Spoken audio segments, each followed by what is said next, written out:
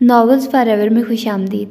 Novel मुझे है हुक्म अज़ा उसकी आज मैं चौदहवीं एपिसोड पढ़ने जा रही हूँ। और आई होप आप लोग बहुत ज़्यादा एक्साइटेड होंगे कि इस नावल में आगे क्या होने वाला है। और मैं भी बहुत ज़्यादा एक्साइटेड हो रही हूँ। पता नहीं क्यों, बट मुझे भी बहुत ज़्यादा एक्साइटमेंट हो रही है कि मैं दोबारा पढ़ूँ। क्योंकि मैं आलमोस्ट भूल ही चुकी हूँ कि उस नावल में क्या हुआ है, क्या नहीं। लेकिन खैर, नावल्स के मामले में मेरा बहुत हाफजा तेज़ है। मैं एक नावल अगर पढ़ लूँ तो दोबारा नहीं पढ़ती, बहुत मुश्किल है कि मैं दोबारा उसको पढ़ूँ, लेकिन शायद इसको काफ़ी ज़्यादा अरसा हो गया था तो इसलिए मैं दोबारा पढ़ रही हूँ। और बहुत सारे नावल्स मैंने आप लोगों के साथ पढ़े हैं तो मुझे ये सच्ची यकीन जानिए, मुझे ऐसे लग रहा था कि मैं नए तरीके से नावल को पढ़ रही हूँ। जब हम पढ़ते हैं ना तो हम बहुत रवानगी के साथ पढ़ते हैं काफ़ी सारे अल्फाज मैं तो मिस कर देती थी और बाज़ अवत जहाँ हम, मुझे होता था कि मैं आगे पढ़ूँ आगे पढ़ूँ, क्या होता है? तो उसकी वजह से एक्साइटमेंट की वजह से मैं बहुत सारा नावल छोड़ देती थी। तो अब ऐसे नहीं हो सकता क्योंकि ये मेरी एक तरह से ज़िम्मेदारी बन चुकी है कि जो भी नावल पढ़ूँ, उसका एक लफ्ज़ भी ना छोड़ूँ मैं। और मैं ऐसे ही करती हूँ कि मैं एक लफ्ज़ भी नहीं छोड़ती और आप लोगों के साथ सारा नावल शेयर करती हूँ। तो इस तरह पढ़ने से जो एक अलग मज़ा है ना वो सच में मुझे बहुत ज़्यादा मज़ा आता है इस तरह। अब मैं कोई भी नावल ऐसे पढ़ती ही नहीं हूँ। पहले मैं ऐसे पढ़ती थी कि अकेले पढ़ती हूँ। अब मैंने जो भी नावल पढ़ना होता है, यार, आप लोगों के साथ पढ़ूँगी। अगर मैंने नहीं पढ़ा हुआ तो क्या हुआ? जब मैं फ्री होंगी, तभी आप लोगों के साथ पढ़ूँगी। तो इसीलिए मैं नावल पढ़ ही नहीं पाती। तो अब मेरी एक आदत सी बन गई है आप लोगों के साथ पढ़ने की और आप लोगों के साथ शेयर करने की। तो खैर, ये भी ऐसे ही मामला कुछ चला आ रहा है। तो चलिए आइए बगैर किसी अब देर के इस नावल को शुरू करते हैं और आप लोगों का भी इंतज़ार ख़त्म करते हैं इसको शुरू करके। वो मिलने आया हुआ है तुमसे। चलो आवाज़ के लहजे में गैर मामूली सख्ती और सर्द बंद था। उसने उसका बाजू कोहनी से पकड़कर उसे दरवाजे की जानब धक्का दिया। फातिमा लड़खड़ाई। वो इतनी खौफजदा थी कि उस पर उसकी हर सलाहियत उसका साथ छोड़ चुकी थी। आवाज़ इंतहाई जारहाना तरीके से तकरीबन घसीटता हुआ उसे साथ लाया था। अभी तुम्हारे सारे सच और झूठ खुलकर सामने आ जाएँगे। लेकिन याद रखो, अगर तुम झूठी निकली तो मैं जान से मार डालूँगा तुम्हें। ड्राइंग रूम के दरवाजे पर रुककर अब्बास ने उसे तेज़ नज़रों से घूरते हुए कहा, लहजा इंतहाई तल्ख था। फातिमा ने हरासा नज़रों से उसे देखा। उसकी नज़र किसी मुजरिम के मानित झुकी हुई और रंगत जर्द हो रही थी। इब्राहिम ने उस डरी सहमी मगर यकसर तब्दील होलिए वाली उस नई अनोखी कैथराइन को देखा, जो फातमा थी, जिसका लबास, खालस्तन, मशरकी और शर्म हया के सब तकाज़ों के आन मुताबिक था, जो अपने हसीनों, बावकार और बेहद ग्रेसफुल हम सफ़र के पहलू में खड़ी थी। शौरी या लाशौरी तौर पर उसके दिल ने मुशरफ बा इस्लाम होने के बाद अपनी माँ सरीता देवी और अपनी बहन कैथराइन का ऐसा ही तस्वुर कायम किया था। उसका दिल बेख्तियार अल्लाह के आगे सर बसजूद हुआ था। उसकी एक तमन्ना तो इस तरीफ़ों वाले ने, रब ने मुकम्मल तौर पर पूरी कर दी थी। कैथराइन, नहीं नहीं फातमा फातमा, तुमने मुझे पहचाना नहीं। मैं इब्राहिम अहमद हूँ। तुम्हारा भाई भूल गई तुम। वो बेख्तियार आगे बढ़ा था और झुके सर वाली खाइफ से फातमा के सर पर हाथ रख दिया। उस पल वो कुछ ऐसा मशहूर ऐसा मशहूर था कि अब्बास को यकसर फरामोश कर गया था, जो साकिन खड़ा था, इब्राहिम अहमद के अल्फाज ने उसे खुद उसकी नज़रों में अजब शर्मिंदगी से दो चार कर डाला था। उसने उलझ कर एक खपत भरी नज़र फातमा पर डाली और खामोश लब भेजते, दोनों बहन भाई का मिलाप देखता रहा, जो वाकई इस वक्त उसे फरामोश कर चुके थे। उसने खुशी से निहाल होती फातिमा को देखा, शक व शुबह की गुंजाइश ही कहाँ थी? उस शफाफ लड़की का किरदार भी उसकी सूरत की तरह बेदाग था। वो उस पर शक करके हमेशा शर्मिंदा हुआ था और ये लड़की हमेशा की तरह सर बुलंद बावकार खड़ी थी। डैड कैसे हैं भाई? मुझे सबसे ज़्यादा वही याद आते हैं। उसने फिर फातिमा को देखा, जो इब्राहिम के बाजू से लगी बैठी थी, जैसे कोई बेहद आसूदा और बेफिक्र सी लड़की हो। तभी इब्राहिम उसकी जानब मुतवजा हुआ और एकदम खजल हुआ। फिर, मगर फिर तपाक से उसे मिलने लगा। आई एम सॉरी एक्चुअली इतनी एक्साइटमेंट थी कि मैं आप इब्राहिम अहमद ने उसे मुसाफा करते हुए सलाम के बाद उसी खजालत अमेज़ अंदाज में कहना चाहा। तो अब्बास आहिस्तगी से मुस्कुराता उसका हाथ थपक कर रह गया। इट्स ऑल राइट मैं समझ सकता हूँ। तशरीफ़ रखिए आप इब्राहिम अहमद की शख्सियत में। कुछ ऐसा वक़ार, ऐसा दबदबा और मकना तीसियत थी कि अब्बास उससे मुतासर हुए बगैर नहीं रह सका। कुछ दिल पर जमे मैल के धुल जाने के बायस, शर्मिंदगी का फितरी था, तासुर भी था। उसने बहुत गर्म जोश अंदाज में इब्राहिम अहमद का हाथ थाम लिया और सूफे पर बिठाया। फातिमा के हवाले से आपसे मिलना मुझे रूहानी मुसरत से हमकनार कर रहा है, अब्बास साहिब। मुझे खुशी है, मेरी बहन का शरीक हयात ऐसा भरपूर और शानदार है। शुक्र है अल्लाह का, वरना मैं वाकता इसकी वजह से, इसकी जानब से फ़िक्रमंद था। अल्लाह आपको हमेशा शाजो आबाद रखे। कितना अरसा हुआ आपकी शादी को? इब्राहिम अहमद अपने मखसूस अंदाज से हटकर गुफ्तगु कर रहा था। फातिमा मुस्कुराती नज़रों से उसे देखती रही। बहुत ज़्यादा अरसा तो नहीं हुआ। हमारे दो बच्चे हैं, माशाल्लाह। फातिमा बच्चों को इनके मामू से नहीं मिलवाएँगी आप। अब्बास हैदर के जवाब ने। फातिमा को शशदर कर डाला था। साफ़ ज़ाहिर था कि वो उस पर भी दूसरी शादी वाला मामला अया नहीं करना चाहता था। अजीब था ये शख्स। कभी मेहरबान तो कभी सिरे से ही ना आशना। सलीम से चाय का भी कह दीजिएगा। अब्बास ने नरमी से टोका। हम कल चल रहे हैं ना गाँव? वहीं से बाकायदा तुम्हारी रुखसती होगी, सिकंदर के हमरा। बाबा जान ने बताया है मुझे कि तुम बहुत प्रॉब्लम क्रिएट करती रही हो उनके लिए। ईमान के लहज कहने पर वो सर झुकाए बैठी उंगलियाँ मसलती रही। सिकंदर कल भी आया था यहाँ। ईमान की खैरियत दरियाफ्त करने, वो दानस्ता या ना दानस्ता सामने नहीं आई। अब पता नहीं ये झिझक, गुरेज और हयात थी या फिर शर्मिंदगी का कोई तासुर। उसने ये भी नहीं सोचा था सिकंदर उसके मुतलिक क्या तासुर लेकर यहाँ से गया होगा। वो अच्छा इंसान है, लारेब। सबसे बढ़कर बहुत मोहब्बत करता है तुमसे। मोहब्बतों की कदर तो करनी चाहिए ना? या फिर मैं समझूं कि तुम अभी तक प्लीज़ बाजो, मुझे मज़ीद कांटों पर मत घसीटिए, उसने कहा तो ईमान ने सरदा भरी। चलो, तुम्हारी वजह से ही सही, मगर सिकंदर को उसकी असल पहचान और मकाम तो मिल गया। लेकिन सुन लो अब, तुम उन्हें हरगिज़ भी तंग नहीं करोगी। ईमान उसके हमरा, मार्केट आई थी, ज़रूरी शॉपिंग के बाद अब उसकी ब्रेन वॉशिंग जारी थी, मगर इस आखिरी बात पर लारेब झुंझला गई थी। हाँ बिल्कुल हाथ पैर बाँध कर डाल दो मुझे उस शख्स के आगे, ताकि वो पुराने बदले तो चुका सके। उसे पता नहीं क्यों इतना गुस्सा आने लगा था, दिल अलग भरा जाता था। अजीब कैफियत थी जिसे वो खुद समझ ना पाती, गम ना खुशी, बस एक खालीपन था। ईमान उसकी कैफियत से बेखबर थी, जब भी धीरे से हंसती। ये बात तुम सिकंदर के अलावा किसी और के लिए कहती तो मैं यकीन कर सकती थी। उस अंधे यकीन पर। लारेब के दिमाग में अंगारे से सुलगे। उसने भुना कर उसे देखा। मुझे समझ नहीं आती आखिर उस शख्स ने क्या घोल कर पिला दिया है आप सबको? मोहब्बत को समझते हैं हम बस। इतनी सी बात है। बेहतर है अब तुम भी समझ लो। वैसे एक बात है, सिकंदर बहुत बदल गया है। रियली कल आया था ना? मैं तो हैरान रह गई। इतना गुड लुकिंग लग रहा था कि पहली नज़र में पहचान ही ना पाई। खैर, शानदार तो वो हमेशा से था, मगर शख्सियत पॉलिश्ड होने के बायस मज़ीद चार्मिंग हो गई है। ईमान के लहजे में सच्ची सताइश के रंग थे। लारिब ने दानस्ता, खामोशी इख्तियार किए रखी। ईमान की इस बात से तो वो भी सौ फ़ीसद मुतफिक थी। वाकई सिकंदर बहुत तब्दील हो गया था, हर लिहाज से। उसने अपने कमरे की खिड़की से उसे देखा था। जाने किस जज्बे से मगलूब होकर ब्लैक पेंट कोट में मलबूस सावली, निखरी रंगत और तीखे खड़े नकूश के साथ गज़ब की स्मार्टनेस उसे पहले से बहुत मुनफरद, बहुत अलग बना रही थी। सबसे अहम चीज़ उसकी आँखों की सर्द मोहरी और चेहरे की बेनियाजी का तासुर था। बहुत से मनफी ख्याल थे जो उसे बेचैन करते थे, मगर वो हर बार सर झटक जाती थी। वैसे है ना ये मज़े की बात कि हम देवरानी जिठानी बन गई हैं। शर्जील बता रहे थे कि सिकंदर की ख्वाहिश है। हम सब मिलकर एक घर में रहें। ईमान के मुस्कुरा कर कहने पर लारेब महज उसे देख कर रह गई। हाँ अब वो इस काबिल तो है कि दूसरों के फैसले कर सके, उसने सुलग कर सोचा। मुझे भूख महसूस हो रही है। आओ पहले कुछ खाते हैं। ईमान ने उसका हाथ पकड़ा और करीबी रेस्टोरेंट की जानब बढ़ गई। ग्लास डोर धकेल कर अंदर दाखिल होते लारेब से कोई बहुत अजलत में बाहर आता ज़ोर से टकराया था। कुछ ऐसे कि उसके कान से लगा हुआ सेलफोन इस तसादु में छूट कर दूर जा गिरा। लारेब ने झला कर गुस्से में सर ऊँचा किया, मगर मुंजमिद होकर रह गई। सिकंदर उसके सामने खड़ा उसे ही देख रहा था। ये उसकी, उस पर पुरतपिश निगाहों का ही एहसास था कि लारेब की पल के लर्ज कर हयाबार अंदाज में झुकी और चेहरे पर तिमतमाहट की धनक बिखरती चली गई। ईमान की शरारत अमेज़ खनखार पर सिकंदर सिर्फ़ चौंका ही नहीं, खफत ज़दा होकर रह गया था। भाई, अब क्या करें? हम, हमारी कोशिश तो पूरी थी, दुल्हन को अच्छी तरह से दूल्हा से छुपाया जाए, मगर सारा काम ही चौपट हो गया। ईमान की मचलती मुस्कान और शरीर नज़रें।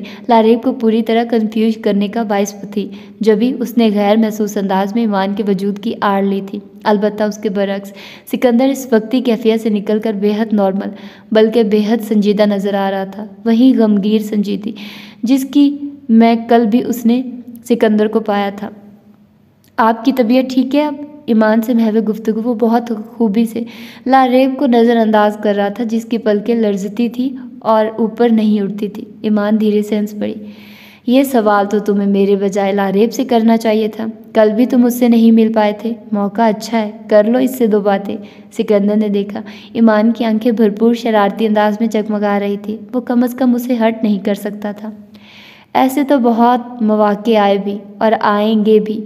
आप अपना ख्याल रखिएगा। चलता हूँ कुछ जल्दी है। वो घड़ी देख रहा था। ईमान ने भवें अचकाकर लारेब की तरफ़ नज़र की, जो झुके सर, झुकी पलकों के साथ गुरेजा सी खड़ी थी। उसे अपनी इस कैफियत पर झुंझलाहट भी हो रही। क्यों नहीं? लेकिन बेहतर होता, तुम हमारे साथ ठहरते। सिकंदर, मैं लारेब का वेडिंग ड्रेस भी ले रही हूँ। अपनी पसंद का कलर ही बता दो। ईमान ने फिर उसे गुफ्तगु में घसीटा। तो वजह यही थी उसे उनके मामला की गंभीरता का अंदाज़ा नहीं था। सिकंदर जो माजरत करने वाला था, इस आखिरी फ़िक्र पर चौंक कर मुतवजा हुआ। इन तकल्लुफ़ात में पढ़ने की क्या ज़रूरत है? हमारी बाकायदा शादी हो चुकी है। शायद आपको पूरी बात मालूम नहीं। लारे पर एक झुंझलाती और झुलसती नज़र डालकर वो बज़ाहिर नॉर्मल अंदाज में कह रहा था। तो ईमान का ही लिहाज था, वरना उसके लहजे में जो सर्द मोरी थी वो लारेब ज़रूर महसूस कर सकती थी। लेकिन मैंने लारेब को दुल्हन बने नहीं देखा था। अब हम बाकायदा दुल्हन बना कर देंगे तुम्हें अपनी लड़की। वो इसी, उसी मगन और सरशार अंदाज में हंस कर कह रही थी। सिकंदर ने होंठ पींच लिए। एक बार फिर माजरत चाही और पलट कर चला गया। लारेब पर कोई खसूसी निगाह डाले बिना। लगता ही नहीं था, ये वही सिकंदर है। लारेब के अंदर पहले हैरानी, फिर सनाटे उतरने लगे। देखा तुमने, कितना ग्रेसफुल और शानदार हो रहा है अपना सिकंदर। अब बिल्कुल जचेगा तुम्हारे साथ। यहाँ तक कि तुम पूरे फ़ख्र से उसे अब्बास हैदर से भी मुतारफ़ करा सकती हो। ईमान की बात पर लारेब ने किसी कर्ब से गुजरते हुए बेदर्दी से होंठों को कुचला था। अब्बास खिड़की में खड़ा। लाउंज में बच्चों के साथ मसरूफ़ फातिमा को देख रहा था। दिया उसकी गोद में थी, जबकि उसामा अपने खिलौनों में मसरूफ़, साफ़ सुथरे, बेहद प्यारे बच्चे। वो खुद नेट नीट एंड क्लीन अभी कुछ देर पहले नहाई थी। गालबन जब भी हल्की नमी लिए बालों का सया आबशार पुष्ट पर सीधा कर गिरता। उसकी दिलकशी और सहर अंगेजी में इजाफे का बायस बन रहा था। वो उसे देखे क्या क्या थी वो? बेहद अजीब व मुनफरिदो कम अज़ कम उसकी समझ से तो बालातर थी, मगर महज उसकी खातिर वो हर नुकसान झोली में डालकर रास्ते की हर मुश्किल को अबूर कर आई थी। तो दरिया के पास पहुंचकर, ये कनाहत, ये सब्र अनोखा था। समझ में कतई ना आने वाला। कम अज़ कम उसमें तो इतना सब्र नहीं था। उसे अजीब सा एहसास घेरने लगा। उसकी आँखें नम होने लगी। तो उसने रुख फेरा और खिड़की से हटकर अलमारी खोलकर खड़ा हो गया। मैरून, मखमली जिल्द के सुनहरे रंग से मजयन एल्बम में अरीशा की लातदार तस्वीरें यादगार की सूरत में मौजूद थी। उसके दिल के दाग लो देने लगे। उसकी सहर तराज आँखों से आँसू गिरने लगे। मैं तुम्हें नहीं भूल सकता, अरीशा। मैं तुम्हारी जगह किसी और को नहीं दे सकता। अरीशा की एक एक तस्वीर को बार बार चूमता। वो फिर हाल से बेहाल था। वो फिर खुद को फरामोश कर रहा था। मैं तुमसे शर्मिंदा हूँ। मैंने तुम्हारी नापसंदीदगी के बावजूद उस लड़की को अपनी ज़िंदगी में शामिल कर लिया। वो मेरी खुशी कभी नहीं थी। वो मेरी खुशी कभी बन भी नहीं सकेगी। वो जैसे मेरी मजबूरी थी, जैसे है, वैसे ही रहेगी। अरीशा प्लीज़ मेरे इस अमल पर मुझसे खफा ना होना। वो उसी वहशत के आसार में था, जब उसका सेलफोन गुनगुनाने लगा। अब्बास ने तवज्जो नहीं की। दिल दर्द से बोझल था और वजूद में नारसाई और दायमी जुदाई का एहसास अपने नोकीले पंजे गाड़ रहा था। फ़ोन पाँचवीं बार भी फिर बजना शुरू हुआ। उसे नहचाते हुए भी उठना पड़ा। अस्सलाम वालेकुम, उसने कॉल रिसीव की, मगर लहजे की नमी और थकन पर काबू नहीं पा सका, नंबर अनजान था। वालेकुम अस्सलाम साहिर, कैसे हो? मिलने आ रहा हूँ, तुम्हें घर पर ही हो ना? दूसरी जानब से बड़े नखवत भरे अंदाज और रूखे लहजे में गुफ्तगु का आगाज़ हुआ था। आवाज़ ने बेतरह उलझ कर सेल फ़ोन कान से हटाकर अस्सिर नौ नंबर देखा। आप माजरत ख्वाह हूँ, आप प्लीज़ अपना नाम बताना पसंद फरमाएँगे? उसके भारी लहजे में हिचकिचाहट दर आई थी। दूसरी जानब यकलख्त गमगीर सनाटा छा गया। मैं सईद अहमद हूँ, अरीशा का भाई। लहजे के तंज में सर्द मोहरी भी शामिल हो गई। आवाज़ के चेहरे के तासुरात में बहुत तेज़ी सी तब्दीली रौनमा हुई थी। फरमाइए, कैसे याद किया आपने? उसका लहजा रूट था।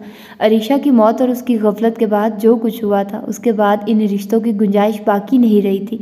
उसने मुलाजमों के बताने पर कहाँ यकीन किया था? अरीशा के साथ साथ उसका हर हवाला भी उसके लिए मुतबर और अहम था। हर ऐब, हर शक से पाक। जब भी फातिमा से बच्चे वापस छीन कर उसने उसी मान, उसी जाम में उन्हें ननियाल के हवाले करना चाहा था, तब वो बातें तमाम तर हकीकत की तलखी के साथ उस पर वाजिया हो गई थी, जिन्हें किसी और की ज़बानी सुनकर उसे यकीन न आ सका था। फिर अब दोबारा से बहाल किया जाने वाला ये रबता उसकी समझ से बाला तर था। आ रहा हूँ तुम्हारे पास, फिर बता भी देता हूँ। अब कि उन्होंने किसी कदर बेतकल्लुफ़ अंदाज और सुलह जो लहजे में कहा था। अब्बास ने सेलफोन कान से हटाकर रबता मुनकता किया और फ़ोन मेज़ पर डाल दिया। सिगरेट सुलगाकर कश लगाते हुए वो सईद साहब की उस अचानक आमद के मकसद को सोचने पर मजबूर हुआ था। आधे घंटे बाद ही मुलाजिम ने सईद की आमद की इतला दी थी। अब्बास ने सिगरेट एश ट्रे में फेंका और उठकर खड़ा हुआ।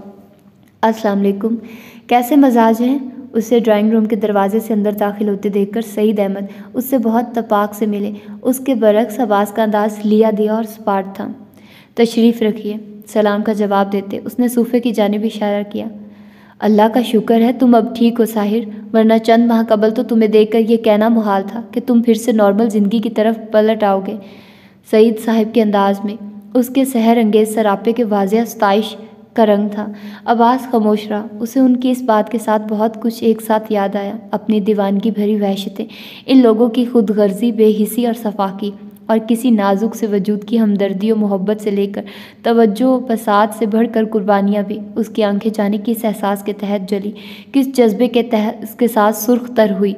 वो मुंतज़र रहा कि वो खुद ही अपनी आम के बारे में बताने की जहमत करे। मुझे बच्चों की बहुत फ़िक्र थी, साहिर। दरअसल बच्चे इतने छोटे हैं कि माँ के बगैर नहीं रह सकते। गवर्नेंस जितनी भी अच्छी सही, मगर बहरहाल मुलाजमा होती है और कभी माँ साबित नहीं हो सकती। वो तमहीद बाँध रहे थे। आवाज़, होंठ, पीछे। सदीदा, संजीदा नज़रों से उन्हें तकता रहा। हालाँकि उसके अंदर बहुत होलन थी। उसके पास उनकी संग दिली और बेहिसी को जतलाने का ये बेहतरीन मौका था। मगर अब्बास के मिजाज में सतही पन नहीं था। वो शुरू से आला जरफ़ी का कायल था। ये आदत उसे बहुत से मकाम पर शर्मिंदगी से बचाकर एक मुमताज़ दर्जा अता करती रही थी। मैं अलीना के मतलब सोच रहा हूँ। दोनों बच्चे बहन की औलाद हैं। उसके गोया अपने ही बच्चे। सियानों ने कहा है, माँ मरे, मासी जिए। तुम्हारा क्या ख्याल है? अपनी बात कहकर वो उसे तकने लगे।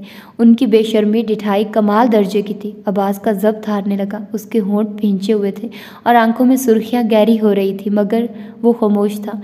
सईद साहिब को उसकी इस खामोशी से उलझन हुई थी। कुछ कहो ना साहिर, वो अपनी जगह जुजबुज होने लगे। आई थिंक आपको मेरी और बच्चों की इतनी फ़िक्र करने की अव्वल तो ज़रूरत नहीं है। फिर भी आपकी तसल्ली के लिए बता दूँ कि मैं शादी कर चुका हूँ। फातिमा मेरे बच्चों की बेहतरीन माँ साबित हो रही है। आपको गालबन और तो कुछ नहीं कहना होगा। सईद साहब के रंग बदलते चेहरे को इतमान अमेज नज़रों से तकता।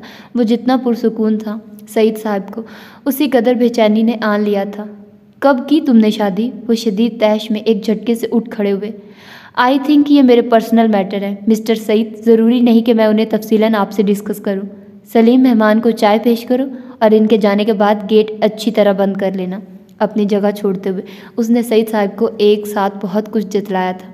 फिर खानसमा को मुखातिब किया जो इस वक्त चाहे के लवाजमात समेत पहुँचा था। हतक और ज़िल्लत के शदीद एहसास ने सईद साहब को दहका कर रख दिया। बात सुनो साहिर, तुम ऐसे नहीं जा सकते।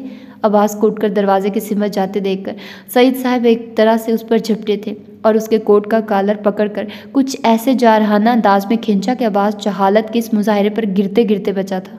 What nonsense mister Saeed. आपको एटिकेट्स का भी लिहाज नहीं है? वो ज़ोर से धाड़ा। सईद साहब ने, जैसे सुना ही नहीं। हकीकतन उनकी जहनी हालत बिगड़ सी गई थी।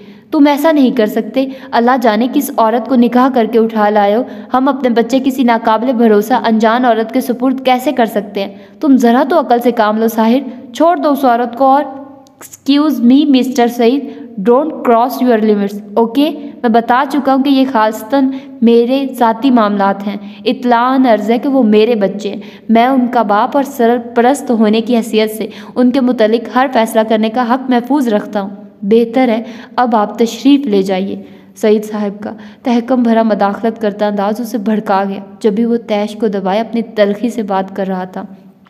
तुमने बहुत गलत किया साहिर। मज़ीद गलत तुम्हारा रवैया है। मैं बख्शूँगा नहीं तुम्हें। बता रहा हूँ, बहुत बुरा अंजाम सामने आएगा तुम्हारे। याद रखना, सईद के लहजे में सफ़ा की और आई थी। डर आई थी, मगर आवाज़ मुतासर नहीं हो सका। बेहतर है आप ये धमकियाँ किसी और को दें। जाइए यहाँ से। आवाज़ उनके अंदाज़ो अतवार पर बुफर सा गया था।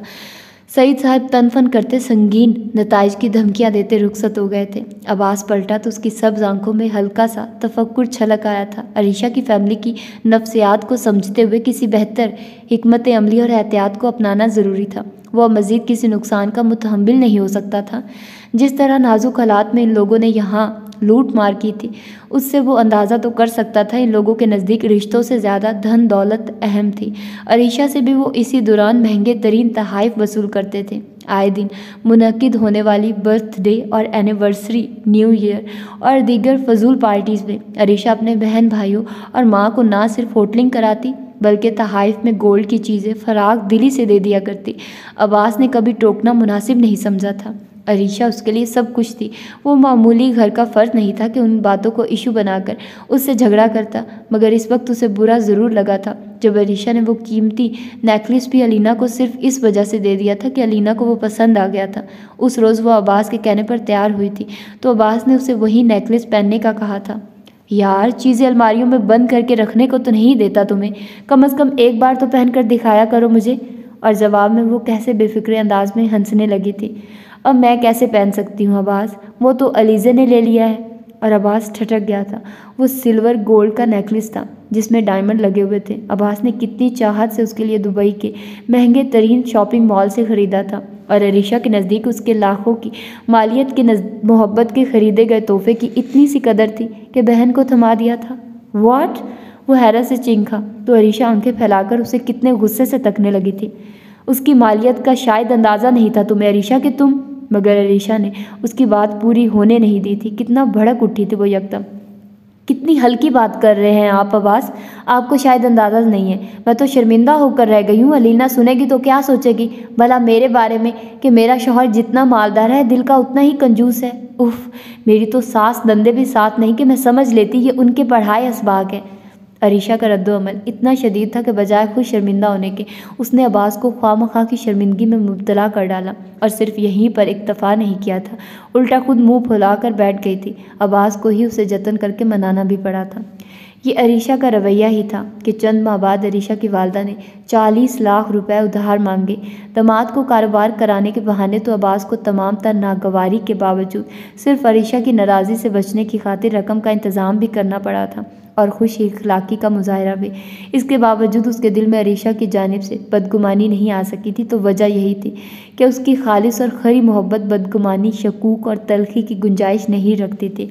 लेकिन वक्त और हालात ने साबित किया था कि उसकी तमाम तर अहला ज़रफ़ी के बावजूद कम हौसला मुफाद परस्त लोग अपनी रविश से बाज नहीं आते।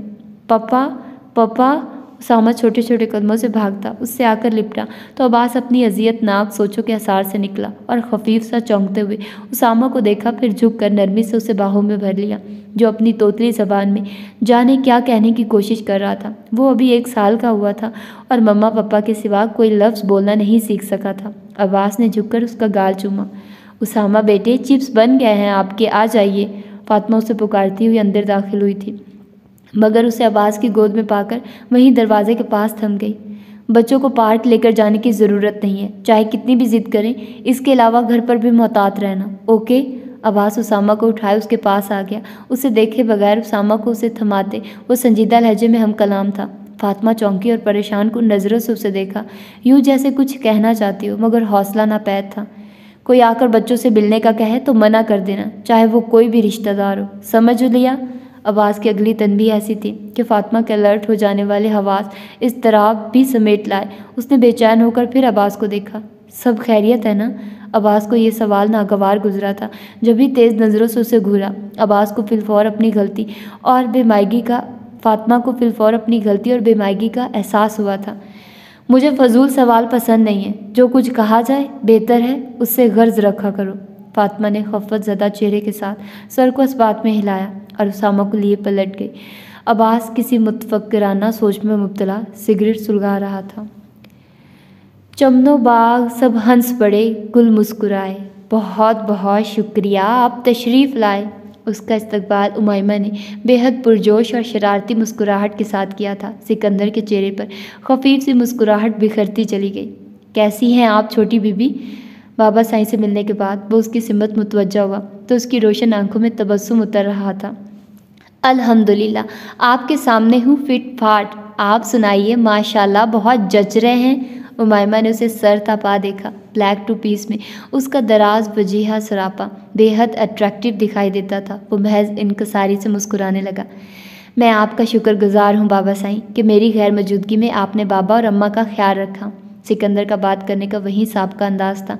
वैसा ही काबिल एहतराम लहजा वहीं झुकी हुई मुहदब नज़रें, वो अब भी हर लिहाज से वहीं था। बाबा साईं के हर अंदाज से उसके लिए मोहब्बत छलक रही थी।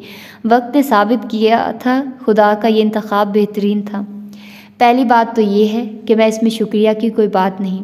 ये लारेब की ज़िम्मेदारी थी जो उसने निभाई। मेरा इसमें किरदार बस इतना है कि तुम्हारी गैर मौजूदगी में मैंने बच्ची को वहाँ छोड़ना मुनासिब नहीं समझा। बाबा साईं के पुरसान अंदाज में, उमायमा शरारती अंदाज में खनखारी और भवन को जुम्बिश देकर उसे तकने लगी।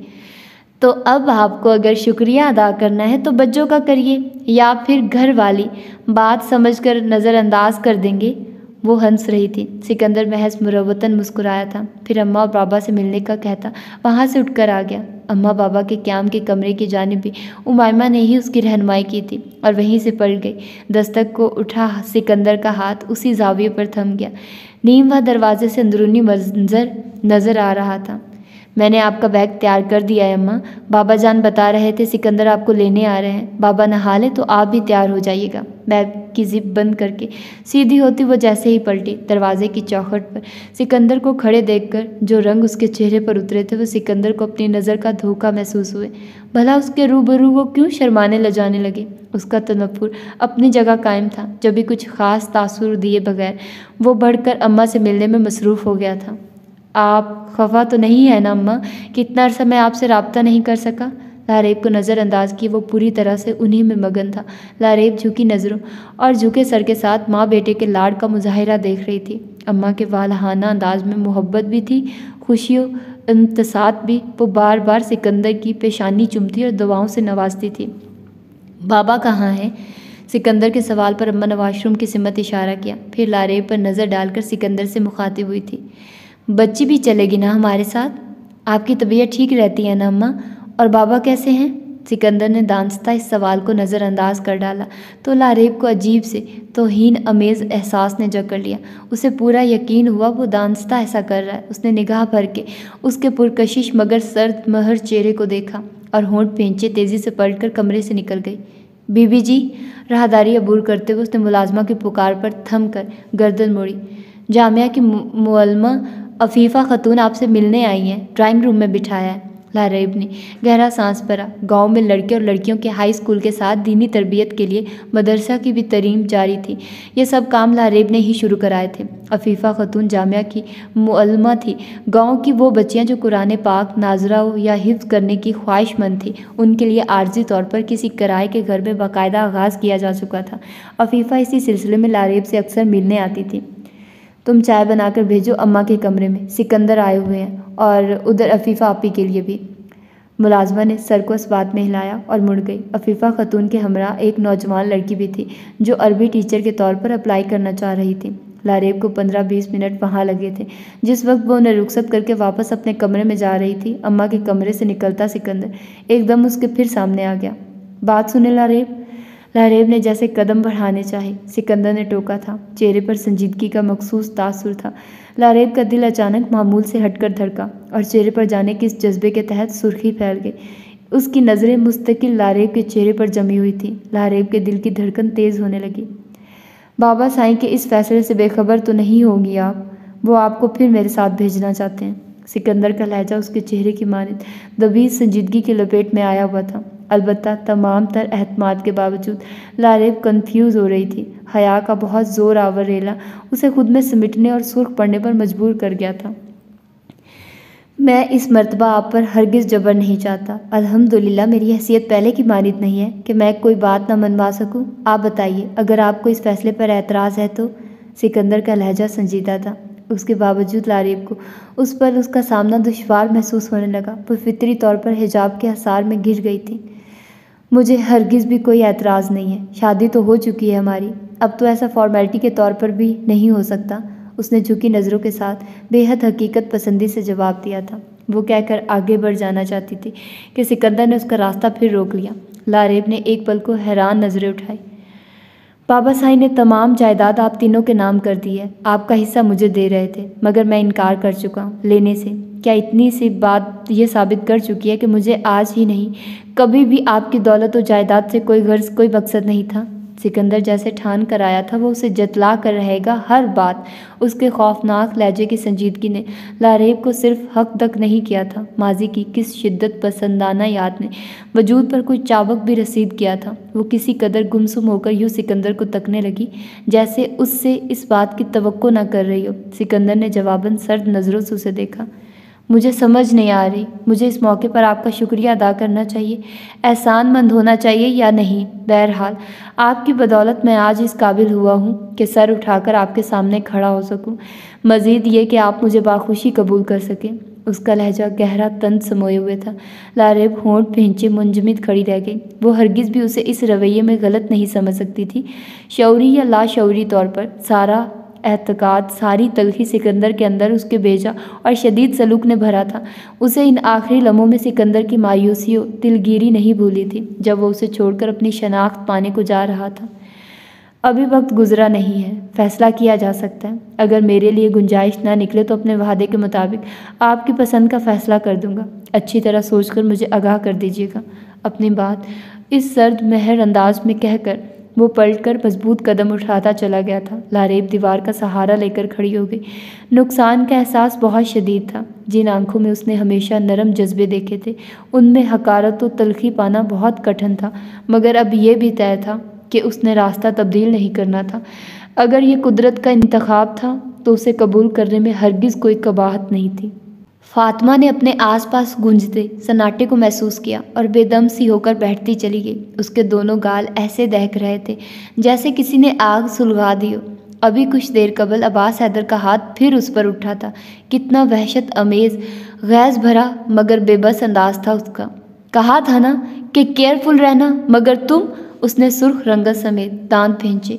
याद रखना, अगर मेरे बच्चों को मामूली सा भी गजन पहुँचा तो तुम्हें भी ज़िंदा नहीं छोड़ूँगा। उसे ज़ोर से झंझोड़ता हुआ। वो कितना हवास बागता लग रहा था। फातिमा तो इतनी सहमी हुई थी कि जवाब में कोई वजाहत, कोई सफ़ाई भी नहीं दे सकी, जबकि अब्बास जैसे आंधी तूफ़ान की तरह आया था। वैसे ही रास्ते में आई हर शय को ठोकरों से उड़ाता चला भी गया। फातिमा थर थर कांपती, वहीं गिरने के अंदाज में बैठ गई। कुछ देर कबल उसके गुमान तक में ये बात नहीं थी कि उस पर क्या क्यामत टूटने वाली है। अब्बास के जाने के बाद उसने मामूल के मुताबिक दोनों बच्चों को खिलाने के बाद नहलाया। और उन्हें लिए किचन में आ गई थी। अपने लिए नाश्ता तैयार करते वो सलीम से दोपहर के खाने का मेन्यू सेट कर रही थी, जब यकदम बाहर शोर बरपा हो गया था, जिसमें फायर की आवाज़ें भी शामिल थी। इससे कबल के फातिमा कुछ सोच समझ सकती है। कट्टा कट्टा आदमी हाथ में रिवॉल्वर लिए वहीं घुस आया था। फातिमा की खौफजदा चिंखों पर, वो हकारत ज़दा तासुरात के साथ उसे तकते हुए सर्द अंदाज में घरा कर बोला साइड पर खड़ी हो जाओ लड़की, वरना जान से हाथ धो बैठोगी। फातिमा के हाथ पैर ठंडे होने लगे। जो ख्याल उनके हवाले से जहन में आया, वो डकैती का था। लेकिन इस खौफनाक मूंछों वाले को बच्चे की जानब लपकते देखकर फातिमा के वजूद में बिजलियाँ भर गई। छोड़ो मेरे बच्चों को, खबरदार जो हाथ भी लगाया इन्हें, वो चील की तरह झपटी थी। मगर इस आदमी का खींच कर मारा हुआ तूफानी थप्पड़ फातिमा को किसी बेजान शह की मांदी दुछाल कर कहीं फुट दूर फेंक गया।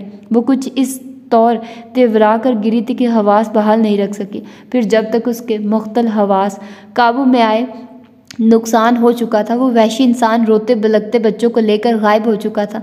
तमाम मुलाजमीन सरासमा, जबकि फ़ातिमा की तो हालत ही गैर होने लगी। चंद लम्हे पथराई हुई नज़रों से एतराफ़ में देखते रहने के बाद वो हजियानी अंदाज में चलाती हुई बाहर की जानब दौड़ी। तो मुलाजमा ने बड़ी मुश्किलों से उसे पकड़ा था। छोड़ो, वो बच्चों को पता नहीं कहाँ ले गए हैं। वो हलक के बल रोते हुए चिंकी उसका चेहरा सरासमगी का इश्तहार बना हुआ था और लहजे में आंसुओं की अमेजिश के साथ खदशात झलकते थे। सर को फ़ोन किया है, मैम। आते होंगे वो। मुलाजमा ने अपने तयु से तसल्ली से नवाजा, मगर उसका हौलता दिल किसी तौर भी करार ना पा सका। आवाज़ की मुतव खफगी का ख्याल ही सुहाने रू था। गार्ड की मौजूदगी में वो घुंडे अंदर कैसे घुसाए आवाज़ उसके हलक से फंस कर निकली थी। खौफ हर लम्हा उसके वजूद में अपने पंजे गाड़ रहा था। वो गार्ड को भी जख्मी कर गए हैं। गोलियाँ लगी हैं उसे। एहसान बाबा अस्पताल लेकर गए हैं। फातिमा को मुलाजमा की इतला पर कदमों तले ज़मीन सरकती महसूस करने लगी। अगले चंद लम्हों में जब अब्बास उसके सामने पहुँचा तो उसके फौलादी चेहरे का खौफनाक तल्ख और जहरीला तासुर देखकर फातिमा की रही सही हिम्मतें भी जैसे जवाब देने लगी थी। कैसे हुआ यह सब? तुम्हारी मौजूदगी में कैसे ले गए वो मेरे बच्चों को? कहा भी था मैंने कि वहशत अमेज़, जुनूनी अंदाज में उसने फातिमा की सुने बगैर उसके चेहरे पर पे दर पे थप्पड़ रसीद किए थे।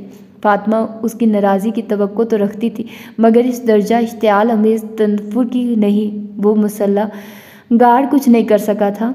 तो फातिमा तो फिर एक नाजुक सी बेहसीत लड़की थी, मगर ये बात आवाज़ को कौन समझाता? उसकी नज़रों का दहकता आतिश फशा फातिमा को लम्हों में जलाकर खाकस्तर कर गया था। याद रखना। अगर मेरे बच्चों को कुछ हुआ तो मैं तुम्हें भी नहीं छोड़ूँगा। उसकी सर्द घराहट में छुपी वहशत, सख्ती, तलखी और जुनू खेजी फातिमा के हवास छीन कर ले गई थी। अब्बास के चले जाने के बाद वो कुछ देर सरासमी खड़ी रही थी।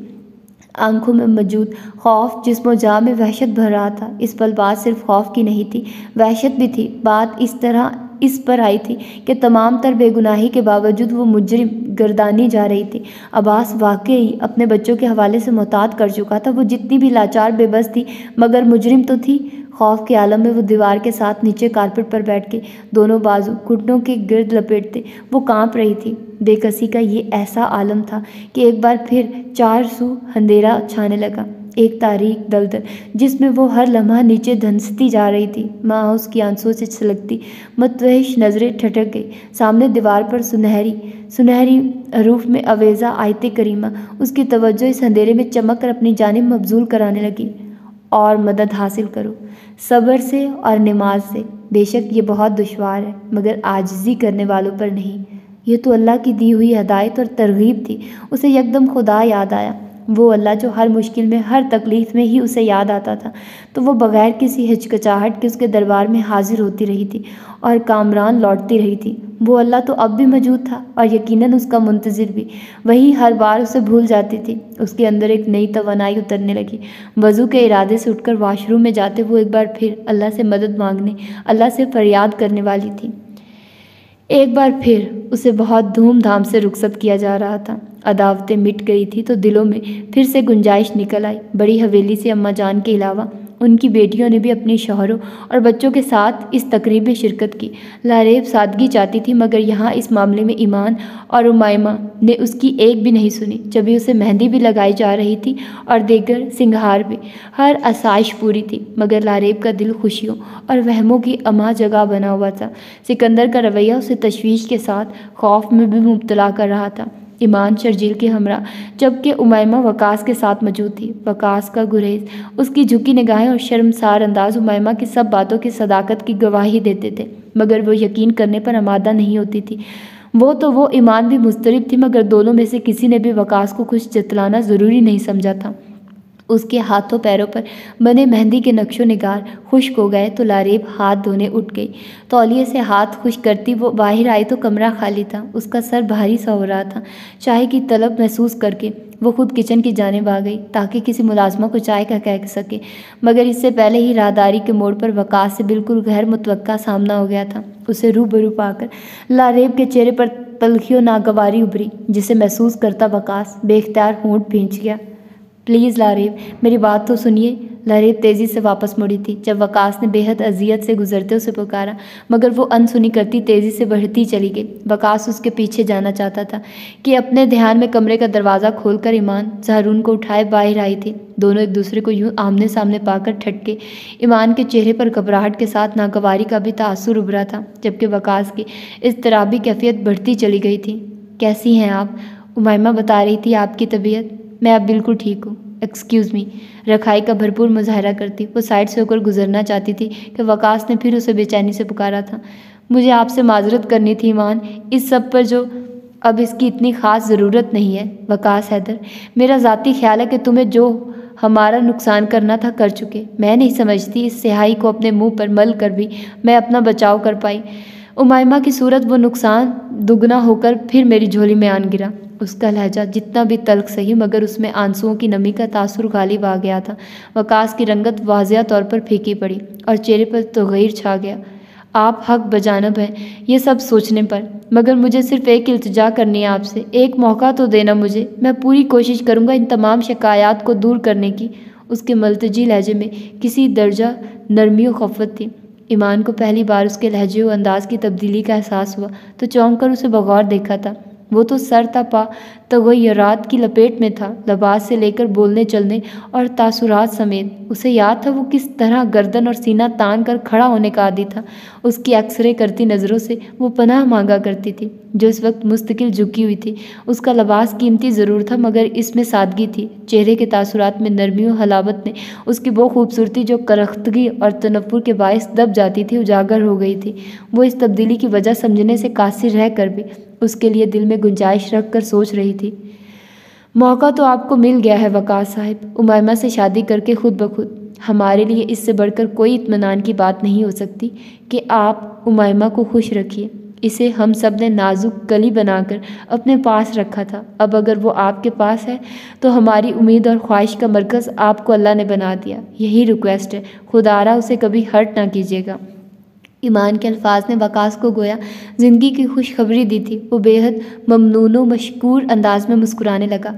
आप बिल्कुल फ़िक्र न करिए। अल्लाह ने चाहा तो मैं आपकी तवक़ात पर पूरा उतरूँगा। इन thanks. Wish you good luck.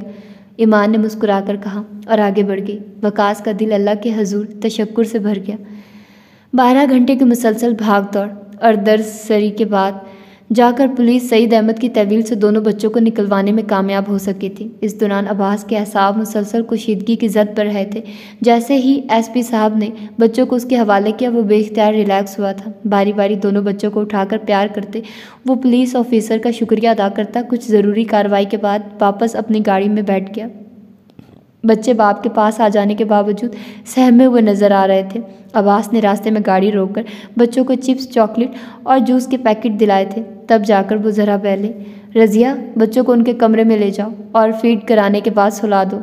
Abbas कमरे में आया तो फातिमा इस वक्त भी जाय नमाज़ पर बैठी हुई थी। उजले दिलकश चेहरे पर इन चंद घंटों के अंदर जर्दियाँ खंड गई थी।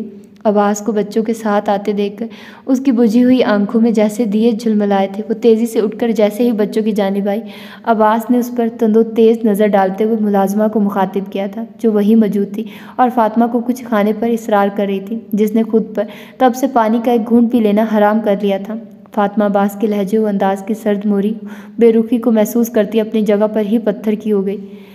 इनका खसूसी ख्याल रखिएगा। मैं मज़ीद कोई कोताही बर्दाश्त नहीं कर सकता। बच्चों को फातिमा के पास जाने से रोकता। वो कतियत भरे तहकम अंदाज में रज़िया से ही मुखातिब था। अब्बास के तेवरों से खाइफ होती रज़िया रोते बिलगते बच्चों को लेकर चली गई, जो फातिमा के पास आने को मचले जा रहे थे। तुम क्यों खड़ी हो अब यहाँ? मैं और मेरे बच्चे भी तुम्हारे बगैर बहुत अच्छी ज़िंदगी गुजार सकते हैं। कोट उतार कर फेंकते हुए अब्बास ने उसके सख्ता ज़्यादा चेहरे को देखकर तनफुर अमेज़ अंदाज में कहा और गोया उसको एक बार फिर उसकी औकात याद कराई। फातिमा ने आंसुओं से छलकती नज़रों से उसे एक नज़र देखा, मगर उसकी कटीली नज़रों को महसूस करती होंठ बेदर्दी से कुचलती रही। मुझे माफ़ कर दें, प्लीज़, मेरा कसूर। उसकी बात अधूरी रह गई। उसका सेलफोन गुनगुनाने लगा था। अब्बास ने उस पर कतई तवज्जो दिए बगैर कॉल रिसीव की। अस्सलाम वालेकुम, अम्मा जान। फातिमा ने वहशत भरी नज़रों से उसे देखा। वो उससे उसकी कैफियत अजियत से आज भी उतना ही बेनियाज था, जितना हमेशा नज़र आता था। तमाम फासले आज भी बरकरार थे। यहाँ मैं कुछ मसाइल में घिरा हुआ हूँ, अम्मा जान। आई एम सॉरी मैं नहीं आ सकूँगा। बल्कि मेरा वहाँ ना आना ही ज़्यादा बेहतर है। वो बुरी तरह से झुंझलाया हुआ नज़र आने लगा। फातिमा आँसू पूछती उसे देखे गई। आप इतनी सी बात पर खफा क्यों होती अम्मा जान? आपको कम अज़ कम मेरे मसाइल को तो समझना चाहिए। उसने झलाकर कहा। फिर कुछ देर दूसरी जानब की बात सुनता रहा। ऐश, ग्रे, सूट में गज़ब की मर्दाना वजाहतों के हमरा अपने निपे तुले, अंदाज में महवे गुफ्तु ये शख्स अभी भी दिल की धड़कनों को मुंतशिर करने की भरपूर सलाहियत रखता था।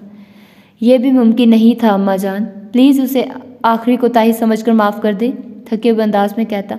वो बालों में हाथ फेर रहा था। Okay, fine. थैंक्स, अम्मा जान। जी जी, अस्सलाम वालेकुम। उसने सिलसिला मुंतका किया और सेल फ़ोन बिस्तर पर फेंका और ख़ुद शर्ट के बटन खोलता हुआ जैसे ही मुड़ा फातिमा को हनूज वहाँ पाकर उसकी आँखों की सुर्खी जैसे लहू में बदलने लगी। तुम, उसने दांत कुचकचाए। आखिरी बार माफ़ कर दें अब्बास, वादा करती हूँ आइंदा अपनी जान पर भी खेल कर इन डायलॉग की ज़रूरत नहीं है, समझी? और ये आँसू भी मुझे राम नहीं कर सकते। तुम्हारे हुसन के हथियार की तरह ये भी बेकार है। अंदाज़ा तो हो जाना चाहिए था तुम्हें। कितना काटदार लहजा था उसका। फातिमा शर्म से कट मरी थी। रंगत बिल्कुल फक हो गई। पता नहीं वो हमेशा उसका नज़रिया, उसके जज्बात समझने में क्यों इतना कासिर रहा था। अब जाओ यहाँ से। कब तक यूँ ही सर पर सवार रहोगी?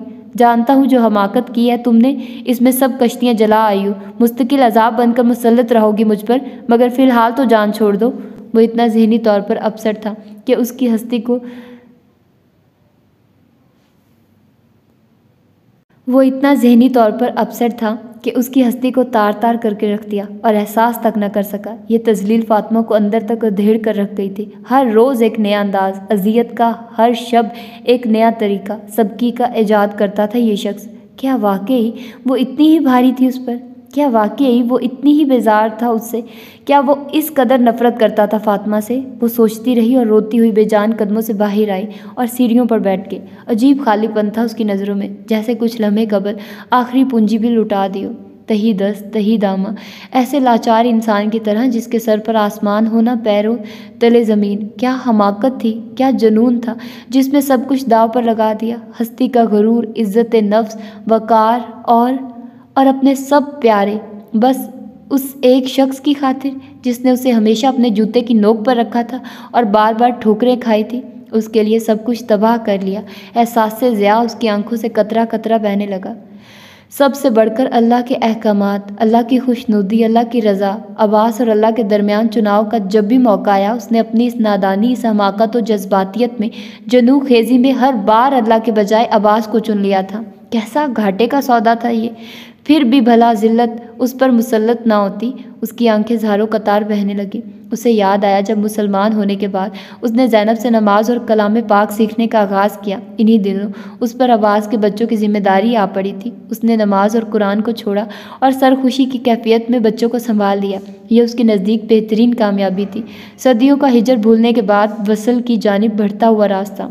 फिर दोबारा। जब अब्बास की जानब से ज़िल्लत और रसवाई पाने के बाद उसने अल्लाह की तरफ़ पढ़ जाना चाहा, एक बार फिर उस पर आजमाइश आ पड़ी। चाव की आजमाइश। उसने फिर दुनिया को चुना और दीन को छोड़ दिया। भला इससे बढ़कर भी उसके लिए कोई खुशी, कामयाबी और कामरानी की दलील हो सकती थी कि अब्बास हैदर उससे शादी की ख्वाहिश लेकर आ गया था। वो सपना पूरा होने जा रहा था, जिसे उसकी आँखें भी देखने से डरती थी। वो कैसे अचानक पूरा होने जा रहा था? एक बार फिर उसने अल्लाह की राहों से कदम वापस मोड़ लिए। एक बार फिर उसके हाथ में अल्लाह की रस्सी आई, मगर वो गिरफ्त मज़बूत करने के बजाय उसे छोड़ बैठी। मगर जब अल्लाह की तरफ़ से बंदे को आगाही मिलती है तो फिर घटा टोप अंधेरों में भी जुगनू जगमगाने लगते हैं। शमें जल उठती हैं। फातिमा के दिल में भी यही आगाही जाग उठी थी, जब भी वो ऐसे चौंक उठी जैसे गहरी नींद से जाग गई हो। ताखीर से सही, मगर बहरहाल उसने अपनी हकीकत, यकीन पहचान ली थी। उसे इस बात की खुशी थी, रब ने उसका शुमार उन लोगों में नहीं होने दिया था जो ठोकर खाकर गिरने वालों में शामिल हो जाया करते हैं। हर सू गहमा गहमी थी। मुख्तलिफ़ रसूमात की अदायगी के बाद अरीबा और समिया उसे सिकंदर के बेडरूम में छोड़ गई थी। वसी व अरीज शानदार बेडरूम जिसका माहौल बेहद ख्वाबनाक लग रहा था। उसके वजूद की रोशनी से भी जगमगा उठा था गोया। लारेब ने तकिए से टेक लगाते हुए इतराफ़ का जायज़ा लिया और अजीब से एहसास का शिकार होकर रह गई। रस्मों के दौरान भी अपनी कज़न्स की हँसी मज़ाक में सिकंदर बेहद लिया दिया और संजीदा महसूस होता था। यहाँ तक कि उसकी मुँह फट कज़न ने यहाँ तक कह दिया था कि वो इस शादी से खुश नहीं लगता। और लारेब, इस पल कितनी खाइफ हो गई थी। लारेब ने सिकंदर के सभी रिश्तेदारों और ईमान के ससुरालियों को अजीबो गरीब महसूस किया था। नाक मुँह चढ़ाती, गिबतें करती औरतें और बदमिजाज घसीले मर्द। वो अब अंदाज़ा कर सकती थी, माँ ने वहाँ किस कदर कठिन वक्त गुजारा होगा। वो तो ये सोचकर खाइफ हुई जाती थी, अगर सिकंदर ने इन अजीबो गरीब लोगों को यहाँ भी अपने साथ इस घर में रख लिया तो कैसे फेस करेगी वो इन सबको, जिन्होंने ईमान को इस नौबत तक पहुँचा दिया था? मगर उनको ज़रा भी जो शर्मिंदगी या मलाल हो, ईमान तंदुरुस्त होने के बाद इब्राहिम अहमद के समझाने पर शर्जील के यहाँ मिलने गई थी, मगर वहाँ उन्होंने ठीक तरह बात करना भी गवारा नहीं किया। मगर इब्राहिम अहमद की ताकीद थी कि उन्हें इन अहम रिश्तों से कतः तलकी ला तलकी इख्तियार नहीं करनी चाहिए और इनके हकूक़ भी अदा करने चाहिए। खुद इब्राहिम सरिता देवी की इतनी शदीद नफरत के बावजूद उनसे मिलने जाता था और फ़ोन पर भी खैरियत दरियाफ्त किया करता। सरिता देवी ने तमाम तर नारवा सलूक के बावजूद, वो समिया को भी वहाँ उनके पास ले जाने का इरादा रखता था। ये सब बातें लारेब को ईमान से ही पता चली थी। दरवाजे के बाहर कदमों की चाप को पाकर लारेब का दिल ही उछलकर हलक में नहीं आया। अथेलियाँ भी पसीने में भीग गई। अगले लम्हे सिकंदर अंदर आ गया, मगर उसकी जानब निगाह डालते ही वो यकदम भड़क उठा था। कुछ ऐसे कि उसे भी इस आग में घसीट लिया। ये रवायती शादी नहीं थी, जो आप इस तरह बैठी हैं। मैं हैरान हूँ, आप में इतनी तब्दीली की वजह क्या है आखिर? आप तो तब भी मेरी इस तरह मुंतज़र नहीं हुई थी, जब आपको होना चाहिए था। याद है, आपको हमारी शादी की पहली रात? उसे बेड पर अपने इंतज़ार में पाकर वो तमाम जब्त गवा चुका था। लारिब की आँखें ऐसे जल उठी जैसे इनमें किसी ने मुट्ठी भर मिर्चें झोंक दी हो। वो खामोश थी, उसका खूबसूरत चेहरा हर गुजरते लम्हे मुतगैर होता जा रहा था, मगर सिकंदर को हरगिज़ भी उससे किसी किस्म की हमदर्दी महसूस नहीं हुई। ये लड़की बहरहाल कभी बेबस नहीं हो सकती थी, कभी हार नहीं सकती थी, वो भी उसके आगे। अभी तो उसने उसे बेबस करना था, उसे हराना था। मैं जब तक बात लेता हूँ, तुम उठकर मेरे लिए कॉफ़ी बना कर लाओ, मैं सोने से कबल कॉफ़ी पीने का आदि हूँ। उसे पल के झुकाए आँसू जब्त करने की कोशिश में हल्कान पाकर वो जहर खन लहजे में बोला, जिसने एक लम्हे को सही, मगर लारेब को भी हॉन कर दिया था। सिकंदर ने इस हैरानी और इस्तेजाब को महसूस कर लिया था, जब भी बोला तो उसके खशूनत ज़दा लहजे में तलखी और तनफुर सिमट आया था। क्यों? कुछ अनोखा कह दिया मैंने? या फिर शादी में कोई गुस्ताखी हो गई है? उसके लहजे की बरहमी और हकारत ऐसी थी कि तमाम तर जब्त के बावजूद भी लारेब का दिल इस दर्जा सबकी पर भरा सा गया। फिर कुछ कहे बगैर वो उठी तो जेवरात बज उठे। सिकंदर ने नागवारियत समेत उसे देखा। ये चूड़ियाँ वगैरह अभी उतार कर रख देना। मुझे इनकी छनकार से डिस्टर्ब करने की ज़रूरत नहीं। एक और ऑर्डर जारी हुआ। नकबत भरा हतमी अंदाज। लारेब की बेबसी को इश्तियाल में ढालने लगा, मगर होंठ भिंचे। वो जब्त के कड़े मराहल तय करती, चूड़ियाँ उतार कर रखने लगी। वो सिकंदर का बदला हुआ रवैया महसूस कर चुकी थी और सोच कर आई थी, अगर वो इंतकाम पर उतरा है मोहब्बत को भुला कर तो अब उसकी बारी है, अपनी मोहब्बत से अपना जब्त आजमाने की। वो इस इंतकाम को लाजमी सह जाएगी, इस मोहब्बत की खातिर, जिसका अभी आगाज़ ही हुआ है। और जिसे अभी बहुत दूर तक सफ़र करना था। अब यह उसकी किस्मत थी कि यह सफ़र कितना सहल या फिर कठिन होता है।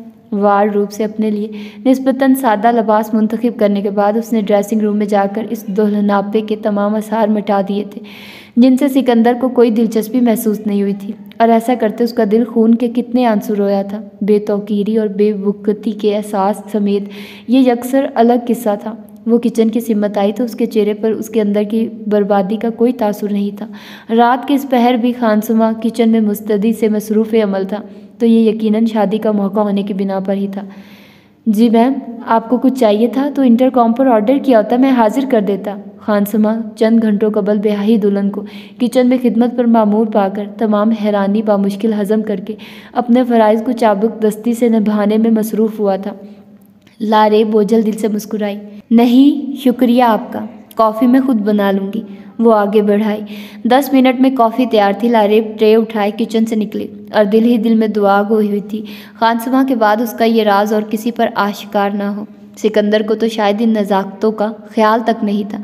उसे जेर करने को और भी एक सौ एक तरीके थे जिनसे भरम भी कायम रह सकता था। मैंने तुम्हें सिर्फ़ ज्वेलरी उतारने को कहा था, वो भी चूड़ियाँ। तुमने वो झुककर ट्रे रख रही थी। जब फ्रेश होकर आने वाले सिकंदर ने गीले बालों में हाथ फेरकर नमी झटकते हुए उस पर गहरी पुरहदत निगाह डाली और दानस्ता बात अधूरी छोड़ दी। लारेब ने होंठ कुचले और सीधी होकर खामोशी से पलटने को थी, जब अचानक सिकंदर ने हाथ बढ़ाकर उसकी लो देती सफ़ेद कलाई पकड़ ली। किसी को सराहाने के लिए आरइशो सिंगार कुछ इतना भी ज़रूरी नहीं, ये काम वैसे भी बाखूबी निभाया जा सकता है। हल्के से झटके से उसे अपने पहलू में गिराता हुआ वो किसी कदर सर्द आवाज़ में कहता, गोया उसकी ताइद चाह रहा था। लारेब का रंग फीका पड़ा और आँखें झिलमिलाने लगी, लेकिन वो बोली, अब भी कुछ नहीं थी। सिर्फ़ एक कॉफ़ी का मग क्यों? उसने भवें अचकाकर सर नज़रें उस पर जमाई, फिर उनकारा भरा मोहतरमा अगर आपको मेरे साथ जागना है तो फिर इसका इंतज़ाम भी होना चाहिए था। वो उसे लम्हा लम्हा सुलगा रहा था, जैसे बाकायदा प्लानिंग करके मैदान में उतरा हो। धीमे लहजे से भी इश्तियाल फूट पड़ता था। आँखों से चिंगारियाँ फूटती थी, चेहरे की सर्द महर कैफियत लारेब को मुंजमिद किए जा रही थी, मगर वो फिर भी चुप थी। यहाँ तक कि सिकंदर ने हाथ बढ़ाकर इस तहकाक अमेज़ अंदाज में उसकी कमर के गिर्द हमाल किया। अब वो उससे नज़दीक थी, नज़दीक तर। उसकी कमर के गिर्द सिकंदर का बाजू को आईनी शिकंजा था, जो बेरहम होता है। ये लम्स कोई अंगारा था, जिसकी दहती आग लारेब का पूरा वजूद जलाकर खाकस्तर कर रही थी। अब तुम्हें एतराज़ तो नहीं होगा। आखिर अपनी मुकम्मल रजामंदी से आई हो, अब की बार। वो मुस्कुराया तो लारेब के हलक में आँसू गिरने लगे। शायद नहीं, यकीनन। सिकंदर उसकी जानब से किसी मजामत या फिर एहतजाज की तो कर रहा था, मगर ऐसी कोई सूरत हाल ना पाकर उसके अंदर जलती आग में इजाफा हुआ, जब भी उसके हर अमल में जहरीत और तलखी घुलती चली गई थी। उसे अच्छी तरह से याद था। जैनब ने कहा था कि परेशान होना इंसान के इंसान होने की दलील है, लेकिन परेशान रहना इंसान के अल्लाह पर यकीन ना होने की दलील है। उसे इस एतराफ़ में अब आर नहीं था कि वो अल्लाह पर अहतमाद यकीन और भरोसे को कामिल ना कर पाई सिर्फ़ शर्मिंदगी ही तो नहीं थी, दुखो मलाल भी था। उसने आखिर किस सहराब के पीछे ज़िंदगी तबाह कर डाली थी? उसे जैनब से सुनी बात पूरी जुजियात से याद आई तो हाथों में चेहरा ढाम पे बिलक पड़ी। मुझे माफ़ फरमा दे मालिक के दो जहाँ। मुझे माफ़ फरमा दे। देर तलक आँसू बहाने के बाद भी दिल पर धरा बोझ हल्का ना हुआ था। आज ये कैसा गम आन लगा था उसे। ये तासुफ उस पर मज़ीद गहरा हुआ। जब उसने बेहिसी और बेअतनाई के सबका अंदाज को बाहर रखे अब्बास को अपने पास से गुजर कर वहाँ से जाते देखा, वो धुंध आलूद नज़रों से उसे जाते देखती रही और अपने गम को शिद्दत से महसूस करती और भी तड़प गई। झिड़कियाँ देने वाला रोब जमाने वाला, धमकियाँ देने वाला भूल चुका होता है कि वो भी इंसान है और उसे अपने जैसे इंसानों पर रोब जमाने और झिड़कियाँ देने का कोई हक नहीं है। हर ताल्लुक इस्त्याग सिर्फ़ गरूर, नफ्स का धोखा है और गरूर इंसान में इस वक्त तक नहीं आ सकता जब तक वो बदकिस्मत ना हो। नसीब वाले हमेशा आजिज़ो मस्कीन रहते हैं। अब्बास हैदर के हर लम्हा फासला बढ़ाते कदमों को धुंध आलूद नज़रों से तकते उसके जहन में। कभी की पड़ी हुई एक बात रोशन होकर जगमगाने लगी तो जैसे हड़बड़ा सी गई, मुझे अब मज़ीद वक्त ज़ाया नहीं करना। उसने सोचा और वज़ू के इरादे से वॉशरूम में चली गई। नमाज़ अदा करने के बाद उसने दुआ को हाथ फैलाए तो एक बार फिर उसकी समातों में जैनब से सुने इल्तजाइया अल्फाज गूंजने लगे, जो वो हर नमाज़ के बाद मनाजात के तौर पर पढ़ा करती थी। ए अल्लाह, मेरे दिल में नूर डाल दे और मेरी समाहत बसारत में नूर हो। उसकी आवाज़ की दिलकशी, सोज और गुदास जैसे इस पल उसका भी दिल रक़त से भरने लगा। आँखों में मचलती नमी, मचल मचल कर गाल भिगोने लगी। उसके होंठ बाकायदा लर्जने लगे। और मेरे दाएँ और बाएँ नूर हो और मेरे ऊपर और नीचे नूर हो। और मेरे आगे और पीछे नूर हो और मेरे लिए नूर बना दे। मुलाजमा दिया को लेकर उसके पास आई। तो उसे जाय नमाज़ पर बैठे दुआ के लिए हाथ फैलाए। जहरों का तार रोते पाकर हैरान हुई। वो दुनिया और माफिया से बेखबर लगती थी। उसे डिस्टर्ब किए बिना मुलाजमा बच्ची समेत पड़ गई, जबकि फ़ातिमा बदस्तूर गिड़गड़ा रही थी। और मेरी ज़बान, और मेरे एसाब में नूर हो, और मेरे गोश्त, और मेरे लहू में नूर हो, और मेरे बाल और खाल में नूर हो और मेरे नफ्स में नूर हो और मेरी हड्डियों में नूर हो। ए अल्लाह, मुझे नूर अता फरमा। उसे ये भी याद आया जहनब कहती थी, तेरा बेहतरीन हम नशी वो है, जो तेरे ऐब जानकर भी तेरे साथ है, और वो तेरे परवर दिगार के अलावा कोई हो ही नहीं सकता। उसे लगा इस मकाम पर जब अब्बास उसका बन कर नहीं देता था, जब उसने अपना हर रिश्ता छोड़ दिया था, उस मकाम पर भी वो अकेली नहीं, कोई है जो उसके साथ है। और वो अल्लाह के सिवा कौन हो सकता था? वो जो उसकी लफ्ज़शों उसकी कोताहियों, उसकी बुराइयों से बेखबर नहीं मगर फिर भी हर बार जब भी वो जो मांगती, वो उसे अता फरमाता रहा था। उसका साफ़ मतलब था, अब्बास को उसकी ज़रूरत ना हो, मगर अल्लाह को उसकी ज़रूरत थी। वो किसी के लिए अहम नहीं हो सकती थी, मगर वो अल्लाह के लिए अहम थी। उसका चेहरा आंसुओं से तर हो गया। रोते हुए उसकी हिचकियाँ बन गई। मगर बेकरार दिल को कहाँ करार नसीब होना था? चाय नमाज़ पर बैठी नौ मुस्लिम फातमा में बल आखिर इस तब्दीली का आगाज़ हो गया, जिसकी बदौलत बरसों कबल इससे कब तलब और ख्वाहिश का ये सफ़र शुरू कराया गया था। ऐसी तब्दीली जो वहशत के सराहों से निकाल कर आगोश मोहब्बत में सिमट जाने वाले के अंदर उतरती है, वही तब्दीली जो अंधियारे मुँह बंद घरों में आबला पा भटकने वालों को रोशनियों, आज़ादी नसीब होने पर सर खुशी बख्शती है। वो वादों को पूरा करने वाला रब एक बार फिर अपना वादा निभा रहा था। उसके एक कदम के जवाब में सत्तर कदमों का फासला घटाए। आज वो उससे कितना करीब था, कितना नज़दीक था। काश वो देख वो झुककर बिस्तर की चादर बिछा रही थी और उसे तकती सिकंदर की आँखें गज़ब की हद समेट लाई लारेब का कितना नॉर्मल अंदाज था। हालाँकि सिकंदर ने उस पर महज अपनी बढ़ाई और नफरत जतलाने को किसी भी सतम जरीफी से गुरेज नहीं बरता था। पता नहीं वो ऐसा मुंतकिम मिजाज क्यों हो रहा था। कभी लारेब की अकड़ और नखवत से उसकी जान जलती थी और अब उसकी खामोशी और फरमा बरदारी ग्राह गुजर गुजर रही थी। ये समझौते के सिवा और क्या था?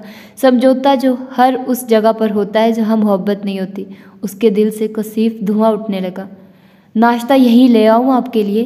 लारेब ने उसका फैलावा समेटते हुए उससे निगाह चार किए बिना पूछा था। उसकी सहर तराज आँखों के एहसास हिस्सों पर उतरी सुर्खी उसकी शिद्दत एक गिरिया की गवाही देती थी।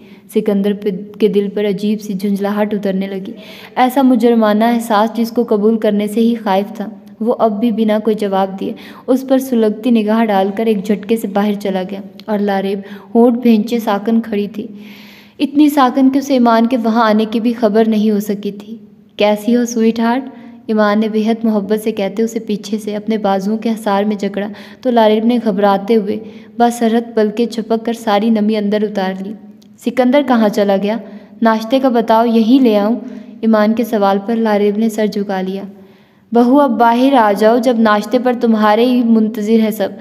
टाइम देखो ज़रा, दस बज गए। हमने तो सुना था शहर की लड़कियाँ सुबह देर तक सोने की आदि होती हैं, मगर यहाँ गाँव की तो इससे भी आगे निकली। ये ताई माँ थी, अपने मखसूस करख्त लहजे और पाटदार आवाज़ में बात करती हुई अचानक मदाखलत कर गई। ईमान तो खफत ज़दा हुई ही लारेब भी सटपटा गई। आप चलिए ताइमा मैं लारेब को ला रही हूँ। ईमान ने घबरा कर उनकी तशफी करानी चाहिए थी। वो लोग जितने भी करख्त और बेहिस सही, मगर ईमान पहले की तरह अब भी उनके साथ नरमी और फर्मा बरदारी का रवैया रख रही थी। हालाँकि उसकी सेहत याबी और इतनी बड़ी बीमारी के बाद फिर से जी उठने को ताई माँ समेत कौन था जिसने खुशी और इतमान का इजहार किया हो? हूँ, लेकर आती हूँ। बच्ची है ये, जिसे गोद में उठा कर लाओगी। देखो ज़रा चोंचले। ताई माँ ने नाक भूँ चढ़ाती। ज़रूर ज़रूरी समझी। और दोनों के फीके पड़ते चेहरों पर जहर आलूद नज़र डालती पलट गई। ईमान ने शर्मिंदगी छलकाती नज़रों से लारेब को देखा, जो खुद भी मुजमहिल सी खड़ी थी और खज्जल से मुस्कुरा दी। तो माइंड नहीं करना, इनकी आदत ही कुछ ऐसी है। लारेब के पास इस बात का भला क्या जवाब था? ईमान के कहने पर उसने नस्बता शोख लबास पहना था और हल्का फुल्का मेकअप करने के बाद टेबल पर आई। तो ईमान के अलावा वसी डाइनिंग टेबल पर सिकंदर समेत सभी को मौजूद पाया था। आइए भाभी, सुबह बखैर, फराज ने उसका पुरतपाक इस्तकबाल किया, जबकि शर्जील के होंठों पर हौसला अफजा और पुरशरफ़त मुस्कान चलकी थी। अभी तक सेंक सिलाई है, मगर उम्मीद तो नहीं लगती, सिकंदर बेटा, तुम्हारी बीवी को। अरे, ये अब तो रुखसती वुखसती का चौंचला ही था, वरना पता है, हमें भी तुम्हारे साथ कई महीने की अजवाजी ज़िंदगी गुजार चुकी है। लरेब पर नाकदाना निगाह डालते हुए ताई माँ ने इस्तफार किया। तो सिकंदर से ही किया था, मगर बिलाशुबा उनकी असल मुखातिब मम्मा ही थी, जहाँ सिकंदर जज्बुज हुआ। वहाँ लारेब का चेहरा ऐसे जल उठा जैसे वहाँ किसी ने यकलख्त आग का अलाव रोशन कर दिया। आपको आखिर एतराज़ किस बात पर है ताइमा ये सिकंदर या फिर लारे भाभी का शौक़ नहीं था। हम सबने दानस्ता इस खुशी छोटी सी तक छोटी सी तकरीब का इनका किया था हल्ले गुल्ले की ख्वाहिश में। जहाँ तक सिकंदर के बाप बनने की बात है तो अल्लाह ने चाहा तो हम ये खबर भी जल्द ही सुन लेंगे। क्यों सिकंदर? लारेब को सर झुकाए, होंठ कुचलते। आँसू जब्त करते पाकर फराज ही उसकी मदद को मैदान में कूदा था और बहुत खूबसूरती से उसका दफ़ा करते। आखिर में अपने साथ बैठे सिकंदर के कांधे से अपना कांधा टकराते हुए गोया उसकी ताइद चाह कर मुस्कुराने लगा, जिसके सपाट चेहरे पर अभी तक कोई ख़ास तासुर नहीं उतरा था। अरे, मैं कब कुछ और कह रही हूँ? मैंने भी यही पूछा है, कहीं दुल्हन बेगम, हमारे लिए पहले से ही तो कोई खुशखबरी नहीं संभाल कर बैठी हुई, जिस तरह बेजार और गुमसुम नज़र आती है, ऐसी हालत तो इन्हीं दिनों में होती है औरत की। ताई माँ हार मानने वालों में कभी शामिल नहीं हुआ करती थी। इस बार भी मायनी खेजियत से कह गई तो लारेब का सुर्ख चेहरा जब्त गम के बायस कुछ मज़ीद सुर्ख होकर लहू छलकाने लगा। उसका दिल इस हफ्स ज़दा माहौल से कुछ इस तौर घबराया कि वहाँ से भाग जाने की ख्वाहिश शदीद दर होने लगी। सिकंदर की मौजूदगी में इस अंदाज की सबकी उसे रूहानसा कर गई थी। इस पर उसकी खामोशी सितम पर सितम ही तो था। तो आज ये भी तय हुआ सिकंदर आज़म, कि तुम इतने ही संगदिल बेहिस और ालिम हो, जितना कि तुम्हारे नाम का वो बादशाह, जिसने अपने शहर को आग लगाकर रोशनी देखने की ख्वाहिश पूरी की थी।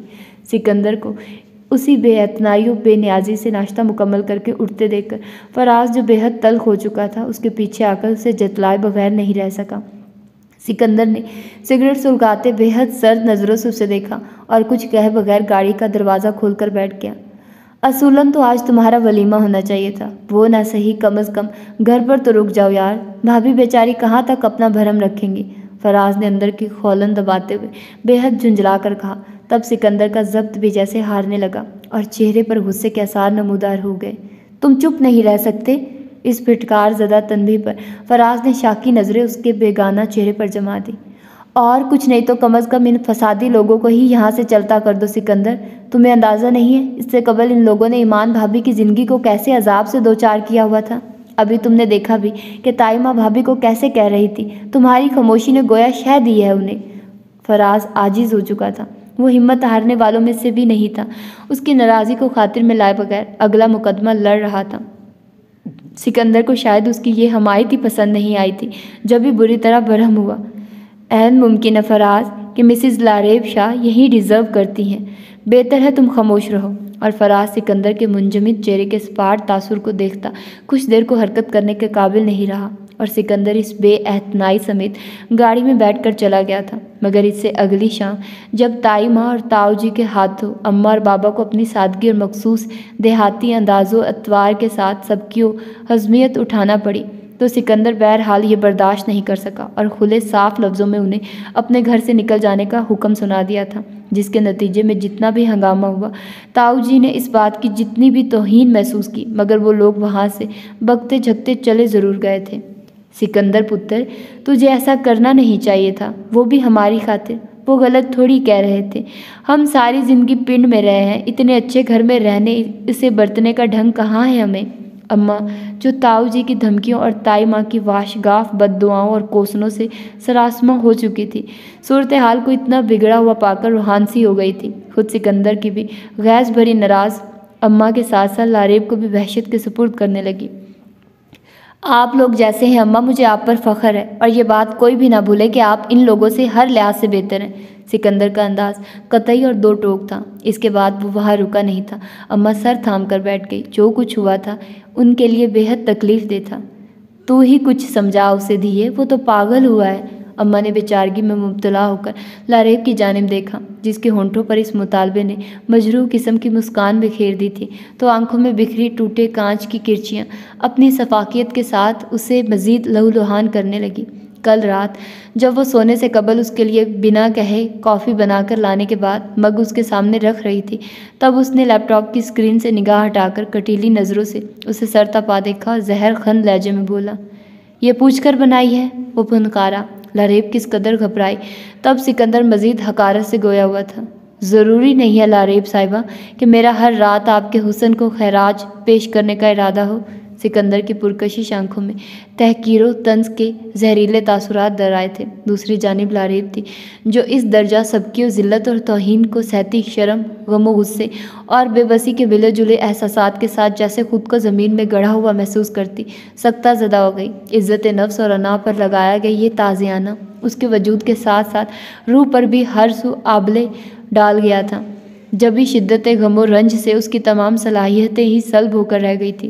सिकंदर तो अपने अंदर की आग निकालकर पुरसकून हो गया था, मगर लारेब, लम्हा लम्हा तड़पती सी सकती रही। उसे यकीन ही ना आता था ये वही सिकंदर हो सकता है। इतना शक्ल कल्ब ऐसा मुंतकिम मिजाज और इस हद तक सतई सोच रखने वाला, उसकी रूह पर आबले पड़ गए थे तो रग रग में महशर बरपा था। ऐसे में ये सिकंदर की बेरहमी की इंतहा या फिर डिठाई की हद थी कि वो फिर उसकी जानब पेशरफ्त कर चुका था। इससे क्या फ़र्क पड़ता था कि इस लम्स में नरमी थी या एहसास में बेपनाह दिलकशी का रंग? उसे इस एहसास से महरूम करने वाला भी वो खुद था। जब तक वो जागता रहा, तब भी जब सो गया, इसके बाद भी लारेब ने मुँह से हरफ शिकायत निकाले बगैर बस खामोशी से आँसू बहाए थे। अगली सुबह, जब सिकंदर की आँख खुली तो उसे जाए नमाज़ पर दुआ में इस तरह से सिसकते पाकर, फिर वही मुजरमाना अंदाज सिकंदर के अंदर सर उठाने लगा था, जिससे खाइफ था वो। जिससे पीछा छुड़ाने को वो उससे खाम खा उलझ पड़ता था। इस वक्त भी इस कैफियत का शिकार खाम खा उसके गले पड़ने लगा। मुझे क्यों नमाज़ के लिए नहीं जगाती? तुम्हारी जिम्मेदारियों में एक ये भी ज़िम्मेदारी शामिल है। लारेब जो जाय नमाज़ को तह लगा रही थी। इस एतराज़ पर तहीर अमेज सुर्ख आँखें लम्हा भर को उठाई और फिर रेशमी पलकों को दोबारा झुका दिया। सुबह से जगा दिया करूँगी। एक बार फिर न गिला न शिकायत। और फर्मा बरदारी का मुजाहरा। ये अनोखा दिल रुबा अंदाज जैसे लूट ले जाने वाला था। सिकंदर चंद सानियों को हरकत के काबिल नहीं रहा। यह तो उसने कभी नहीं चाहा था। कि उसका ताल्लुक ऐसा सपाट, सर्द महर और जामत हो। यह किस डगर पर चल पड़ा था वो? बदला इतना ज़रूरी थोड़ी था? अना को सर बुलंद रखते वो मोहब्बत को कैसी पस्ती में गिरा रहा था? उसे ये सोचे जैसे चाबुक रसीद करने लगी। मगर ये महज लम्हाती कैफियत थी। फिर उसकी सोचें जहर से भरने लगी। ये इतनी नेक परवीन और सती सावित्री नहीं है, हरगिज़ भी नहीं। ना इसका जब तो हौसला इतना बुलंद है। मैं देखता हूँ कब तक खुद को मज़बूत रखती है। दूसरों की तरह इसने भी खुद को मेरे सामने इसलिए सरनगो किया है कि आज मेरे पास हसब नसब के साथ बेतहाशा दौलत भी है। इसने भी मुझे या मेरी मोहब्बत को नहीं कबूला। इसने भी जाहू, हशमत के आगे सर झुकाया है और हसब नस्ब में बराबरी का शौहर तो बीवी के साथ हर तरह का रवैया रख सकता है और बीवी को बर्दाश्त करना पड़ता है। वो खुद को फिर सही समझने लगा। उसकी सोचें फिर आतिशी हो रही थी। आज पार्लर जाकर बालों की कटिंग करा आना मुझे पसंद नहीं तुम्हारे इतने लंबे बाल। ऑफ़िस के तैयार होते उसने जो बात कही थी और जिन तेवरों के साथ कही थी, उसने लारेब की इस बेनियाज या दूसरे लफ्ज़ों में उसकी जानब से इख्तियार किए सब्र को भी लम्हा भर को सही मगर बिखेर दिया था। उसने चौंक कर नज़र उठाई। सिकंदर की सर नज़रों में किसी तल्ख याद की चिंगारी की। सुलगन अभी बाकी थी। लारे वजियत का शिकार होती निगाह का जाविया बदल गई। उसे याद था, जब बहुत अच्छी तरह से कि वह उसके रेशमी स्याह घनेरे बालों का कैसा दीवाना था। और लारेब ने महज उसे अजियत देने की खातिर बाल कटवा दिए थे। उसके एहतजाज पर वो अपनी तलखी उस पर अंडेलने से बाज नहीं रह सकी। बात यह नहीं थी सिकंदर हयात कि मुझे अपने बाल पसंद नहीं थे, मगर इसका क्या हो कि मुझे हर वो काम करके तस्कीन मिलती है जो तुम्हें दुख देने का बायस होता। के अंदाज़ा तो कर सकूँ, तुम के तकलीफ़ क्या होती है? वो तकलीफ़ जिसमें तुमने अपनी खुद गर्जी के बायस गिरफ़्तार कर डाला है मुझे। और सिकंदर का सिर्फ़ चेहरा ही धुआँ धुआँ नहीं हुआ था। आँखों में भी अजियत के रंग बिखर गए थे। तब वो उसे बता नहीं सका था कि वो उसकी खुद गर्जी नहीं, मोहब्बत की इंतहा थी। और अब बिल्कुल ऐसे ही लारे भी उसके सामने वजाहत करने से लाचार रही थी। तुम्हें कुछ कहा था मैंने? या तुम्हारे नज़दीक आज भी मेरी बात की सिरे से अहमियत नहीं है? शाम को वो ऑफ़िस से लौटा तो नॉर्मल था। हालाँकि सुबह जाते हुए वो हरगिज़ इतना पुरसकून नहीं था कि अम्मा को उसका ताई माँ की फैमिली के लिए किया गया फ़ैसला हरगिज़ पसंद नहीं था। समझाने बुझाने की कोशिश को नाकाम देखकर वो उस पर जज्बाती दबाव डालने लगी थी। तब उसने नाचार हार मान ली थी। जब अम्मा ने कह दिया था कि अब वो उन्हें या उसकी बात को भला क्यों कुछ गरानने लगा, ज़ाहिर है अब उसके नज़दीक उनकी अहमियत ही कहाँ है। तब कितना झुंझला गया था वो और बेबस नज़र आने लगा था। ठीक है, मैं माफ़ी मांग लूँगा उनसे। अब खुश हैं आप? वो कितना चिड़चिड़ा हो रहा था। और अम्मा इसी कदर मुतमिन और आसूदा। लारेब को अब उसने किचन में आन लिया था। इस वक्त वो यहाँ खड़ी सबके लिए चाय बना रही थी। लारेब ने पलट कर देखा, वो उसे बरहम नज़रों से घूर रहा था। मगर यहाँ आ जाने के बाद ये पहला मौका था कि ना वो उससे खाइफ हुई, ना एतमाद मुतजलजल हुआ। इसलिए कि मुझे बाल नहीं कटवाने थे। वो बोली तो उसके लहजे में ठहराव था, सुकून था।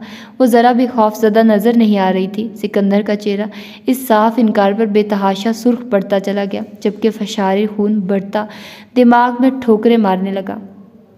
ये आपकी नाफरमानी नहीं है सिकंदर। मैं अल्लाह की हुक्म अदुली से बचना चाहती हूँ। मैं अल्लाह से जो वादे कर चुकी हूँ, उनमें यह भी शामिल है। मुझे यकीन है, आप मुझे फ़ोर्स नहीं करेंगे।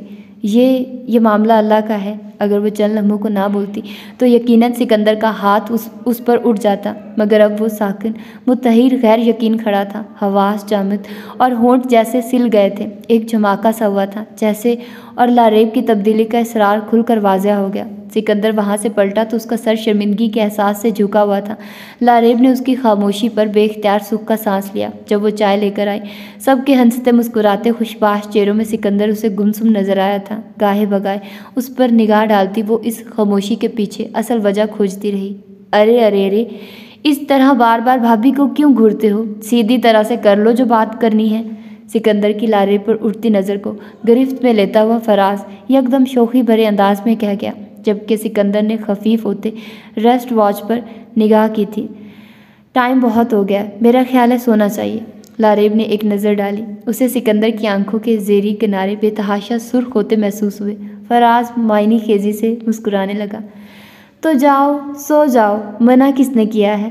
भाभी अलबत्ता यहाँ रहेंगी। हम एक बार फिर इनसे कॉफ़ी बनवा कर पियेंगे। क्यों भाभी? फराज ने आँखें नचाकर कहते।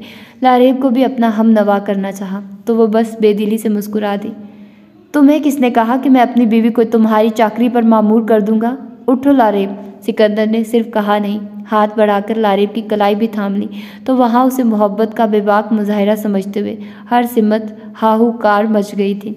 नेवी ब्लू सूट में बेतहाशा दमकती लारेब की रंगत सिकंदर के की इस हरकत पे कुंदन की मानी तहक कर जगमगाती। उसे कुछ और भी हसीन और दिल फरेब बना गई थी। ओहो, चाकरी के तो बहाने हैं।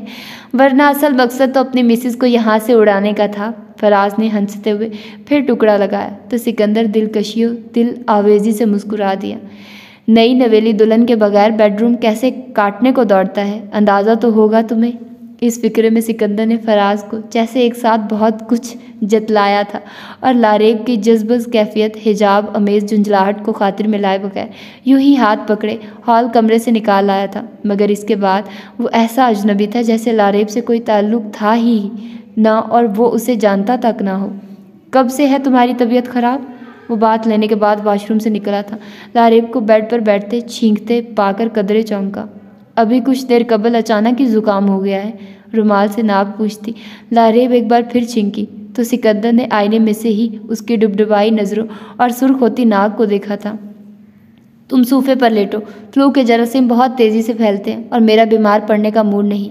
नफत ज़दा अंदाज में कहता, वो लारेब को सिर्फ़ खफत ज़दा नहीं कर गया था, अजीब सी यासियत से भी दो चार कर गया। कुछ कहे बगैर वो बेड से उठी तो सबकी का कारदार अंदाज उसके अंदर वहशत भर रहा था। मुझसे इतना दूर मत जाओ सिकंदर हयात, कि ये फासले पाटना मेरे बस की बात न रहे। सोफे पर लेटने के बाद सिकंदर की जानब से करवट बदलते, आंसुओं पर बांधे बंद, टूट कर बिखर गए थे। अब्बास हैदर ने सर दाह भरते, तस्वीरों का एल्बम बंद करके रख दिया। जहाँ हरसू अरीशा के हवाले से यादें बिखरी हुई थी। आज उसे बिछड़े एक साल पूरा हुआ था। एक साल। कितनी सदियाँ कैद थी इन तीन सौ पैंसठ दिनों में। वो सुबह से ही बेहद वहशत ज़दा फिरता रहा था और लुकमा भी कल शाम से उसके हलक से नहीं उतर सका था। साहब फ़ोन है आपका। इजी चेयर पर झूलते हुए कल से अब्बास को मुलाजमा ने आकर मुखातिब किया। हाथ में कार्ड लेस था, जो वो उसकी जानब बढ़ाए हुए थे। जो कोई भी है, मना कर दो। उससे मुझे किसी से भी बात नहीं करनी। वो बोला तो उसकी आवाज़ भिंची हुई थी। सर, ये आपकी मदर की कॉल है। बहुत खफा हो रही थी। मुझ पर कि आपका फ़ोन क्यों बन जा रहा है मुसलसल? मुलाजमा के हक लाकर कहने पर अब्बास को नचार फ़ोन लेना पड़ा था। अस्सलाम वालेकुम माँ जान। वो जैसे बादल नख्वास्ता बोला। वालेकुम अस्सलाम बेटे, कहाँ गुम हो आप? कितने फ़ोन किए मगर? खैर, अम्मा जान। उनकी मतवक़ा नाराज़ी के आगे बंद बांधते हुए उसने अगली बात छेड़ी। बेटे, ईमान की सेहत याबी की खुशी में तुम्हारे चचा साई ने अपने घर में ख़त्मुल कुरान करवाया है। रिश्तेदारों की दावत भी है। तुम आ जाओ। देखो, अब ये मत कहना कि नहीं आ सकता। लारेब की शादी पर भी तुम शरीक नहीं हुए। बिल्कुल मुनासिब नहीं है ये रवैया। नहीं नहीं, ताल्लुक़ में बहाली आई है। वो लोग समझेंगे तुम मिलना ही नहीं चाहते। उनके अंदाज से ही लग रहा था कि उसका इनकार उन्हें गवारा नहीं होगा। अब्बास ने ठंडा सांस भरा। कब है दावत? वो बेबस सा हुआ था। कल शाम को। और सुनो बेटे, अकेले ही ना चले आना। बहू और बच्चों को साथ ज़रूर लाना, ठीक है? अपनी सुनाकर। अब वो उसकी तायद भी, की भी ख्वाहिशमंद थी। अब्बास ने महज हुनकारा भरा और फ़ोन बंद कर दिया। वो शाम और रात भी गुजर गई। अब्बास सिर्फ़ नवाज़ की अदायगी के लिए घर से निकला था। यह दिया इतना क्यों रो रही है? अगले दिन वो जहर की नमाज़ के बाद घर लौटा। तो बुरी तरह से बलगती दिया की आवाज़ सुनकर। उसी के सिमत आ गया। जिसे मुलाजमत संभालने में हल्कान बल्कि बेजार नज़र आ रही थी। बच्चे फातिमा मैम के बगैर नहीं रहते हैं, सर। उसामा बाबा भी खासा तंग करके बड़ी मुश्किलों से सोए हैं। क्यों? फातिमा कहाँ है? तबीयत ठीक है उसकी? दिया को मुलाजमा से लेता। वह यही क्यास कर सका था। सर, फातिमा मैम अपने भाई के घर चली गई हैं। मुलाजमा की फराहम करदा इतला ने अब्बास को हक तक करके रख दिया। कब? और बच्चों को छोड़कर उसे जैसे यकीन नहीं आया था। आज ही, बच्चों के बारे में तो मैम ने कुछ हदायत नहीं दी। मुलाजमा के जवाब से अब्बास की तसल्ली नहीं हो सकी। दिया को चॉकलेट थमाकर बहलाने की कोशिश की, मगर वो मम्मा मम्मा की गर्दान किए जा रही थी। अब्बास चंद मिनट में ही झुंझलाने लगा।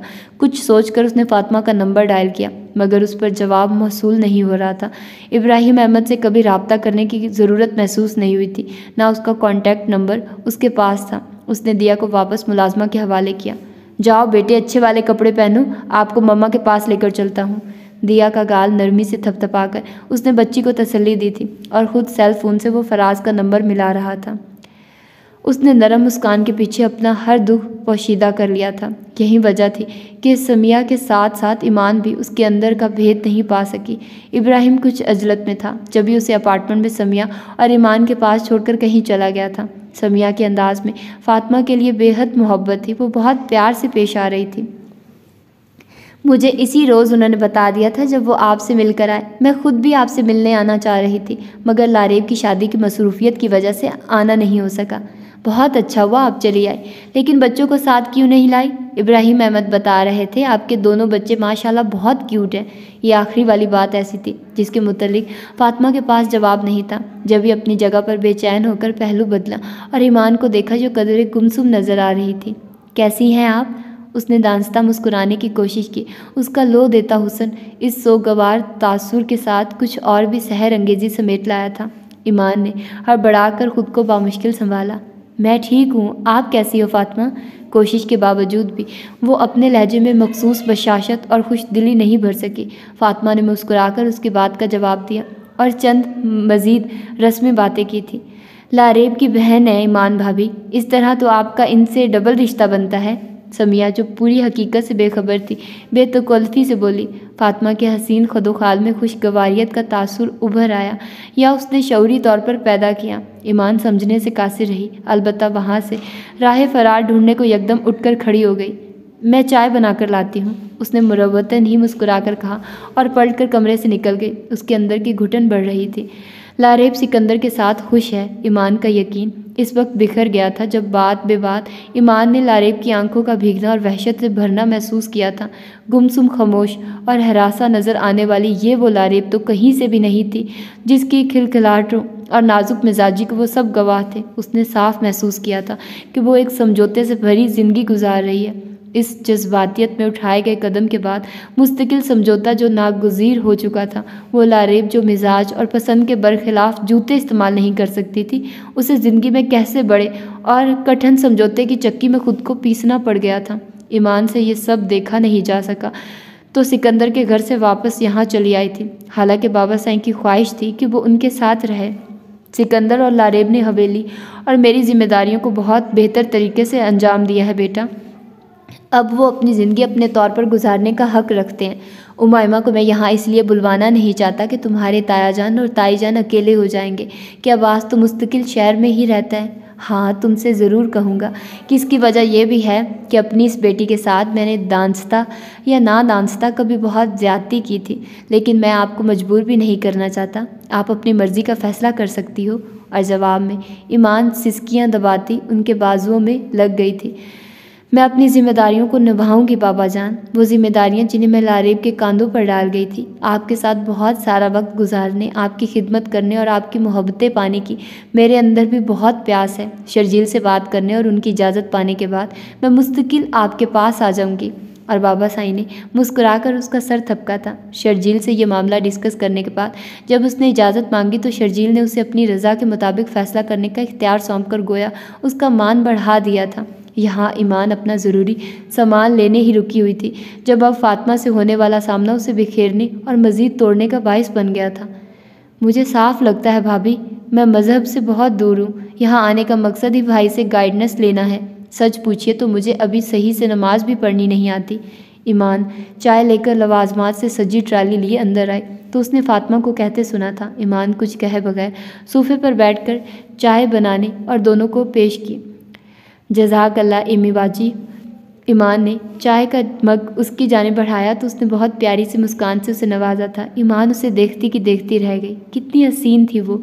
लम्हों में दिल जीत लेने की सलाहियत से माला माल उसे यकीन हुआ अगर उसने मज़ीद ऐसी ही चंद मुस्कुराहटों से उसे नवाजा तो वो लम्हों में पिघल जाएगी। तो क्या इसलिए आवाज़ इतना दीवाना हो गया उसका? वो सोचते हुए गुमसुम हो गई थी। हमारा बहुत कम वक्त एक साथ गुजरा है। मैं हमेशा मम्मी के पास रही, जबकि भाई डैड के साथ होते थे। मैं तो कभी कभार डैड के पास चली जाती थी, मगर भाई कभी इंडिया नहीं आए। इसके बावजूद हमारी बहुत अच्छी जहनी हम मांगी थी। भाई बहुत मोहब्बत करते हैं मुझसे। वो कितने मानो यकीन से कह रही थी। आप लंच में क्या लेंगी फ़ातिमा? मुझे बता दें, मैं वहीं बना लेती हूँ। मज़ीद कुछ देर की गुफ्तु के बाद समिया उठ खड़ी हुई थी। नथिंग स्पेशल भाभी, प्लीज़ जो कुछ पका है मैं वही खा लूँगी। आप मेरे पास बैठिए ना और मुझे बताइए आपकी शादी भाई से कैसे हुई। फातिमा के चाहत भरे अंदाज में कुछ ऐसा इश्तियाक था जिसने समिया को गुलनार कर दिया। वो सुर्ख पड़ी और एक नज़र ईमान को देखा। ये सब इनके शोहरे नामदार का कारनामा है। इन्हीं के दोस्त हैं आपके भाई। बस फिर हो गई शादी। समिया चाहने के बावजूद भी फातिमा के आगे वो तफसीलात नहीं रख सकी जिससे अपने वालदेन और दीगर फैमिली मेंबर्स के सामने फ़खर से दोहराने पर उसे मलामत के नश्तर अपने जिसम और रूह पर सहने पड़े थे। उनके नज़दीक घर से भागी हुई लड़की की जो हैसियत थी, वही समिया की हैसियत थी। उसके, इनसे मिलने और इनके हाँ जाने पर पाबंदी आयद कर दी गई थी। लारेब और सिकंदर की शादी की तकरीब में ताऊ जी ने इब्राहिम अहमद को देखकर एक हंगामा बर्पा कर दिया था। उनके नज़दीक ये सरासर बेहयाई का मकाम था कि वो लौंडा उठकर खुलेआम उनके घर में दनदनाता फिरे, जब जो उनकी लड़की को दर पर्दा भगाने का बायस बना था। शर्जील के वजाहत और सफ़ाई में दिए गए बयान में समिया पर आयद जुराइम मिटाने में नाकाम रहे थे। ये आपका घर नहीं है ताऊ जी जहाँ आपके अंधे कवानीन चलेंगे। यहाँ इब्राहिम अहमद की उतनी ही इज़्ज़त है जितनी एक घर के दामाद की होनी चाहिए। मुझे हरगिज़ पसंद नहीं कि आप इब्राहिम साहिब के लिए इस तरह गर्ज कर बात करें सिकंदर के बरहम अंदाज पर। ताऊ जी चुप तो हो गए थे, मगर नागवारी अपनी जगह पर कायम दायम रही थी। इब्राहिम अहमद अपनी वजह से हरगिज़ बदमजगी नहीं चाहता था जब भी वहाँ से जाना चाह रहा था, मगर शर्जील ने उसे ज़बरदस्ती रोक लिया। नहीं इब्राहिम अहमद, तुम यहाँ से अकेले नहीं जाओगे। इसलिए कि समिया से शादी तुमने अपनी पसंद से नहीं, मेरी ख्वाहिश के एहतराम में की थी। ताऊ जी, अगर इब्राहिम और समिया के लिए यहाँ जगह नहीं है तो मैं भी यहाँ नहीं रुकूँगा, ना कभी पढ़ कर यहाँ आऊँगा। समिया मेरी बहन और इब्राहिम अहमद मेरा काबिल एहतराम दोस्त है। शर्जील का गुस्सा इस पल नकद इस पल नुकता अरूज पर था। वो इस बात पर नाला था कि ताऊ जी ने अपनी फितरत का शर फैलाकर अच्छा भला मोहर मकदर करके रख दिया था। शर्जील आप यहाँ से नहीं जाओगे। इब्राहिम सिर्फ़ आपके लिए नहीं, हम सब के लिए इतने ही काबिल एहतराम हैं जिन्हें, इनकी यहाँ मौजूदगी पसंद नहीं, उन्हें खुली आज़ादी है जाने की। सिकंदर जो जब्त और बर्दाश्त का दामन बहुत कम छोड़ता था, इस पल बेहद तैश में आ चुका था। अलबत्त इब्राहिम को उसके बात करने का अंदाज़ पसंद नहीं आ सका था। टेक इट ईजी सिकंदर भाई कंट्रोल योर सेल्फ बुज़ुर्गों के साथ इस अंदाज में बात नहीं करते। उसका बात करने का मखसूस नरम खो अंदाज था। फिर ये इब्राहिम अहमद का तहमुल आला ज़रफ़ी थी कि बिगड़ा हुआ मामला बतदरीज सुलझने लगा। इब्राहिम अहमद ने खुद आगे बढ़कर ताऊजी से माजरत की थी और सिकंदर और शर्जील के सख्त रवैयों पर उन्हें समझाने का फरीज़ा भी अंजाम दिया था। यार, इस किस्म के लोगों के साथ नरमी और आसान का फ़ायदा ही नहीं है। शर्जील इब्राहिम के तहमुल और बुरदबारी के आगे पहली बार झुंझलाहट का शिकार नज़र आया तो इब्राहिम अहमद ने जवाबन, उसे उसी नरमी और मुलामियत से टोका। यह बहुत गलत तरीका है शर्जील, बुज़ुर्गों के मुतलिक बात करने का।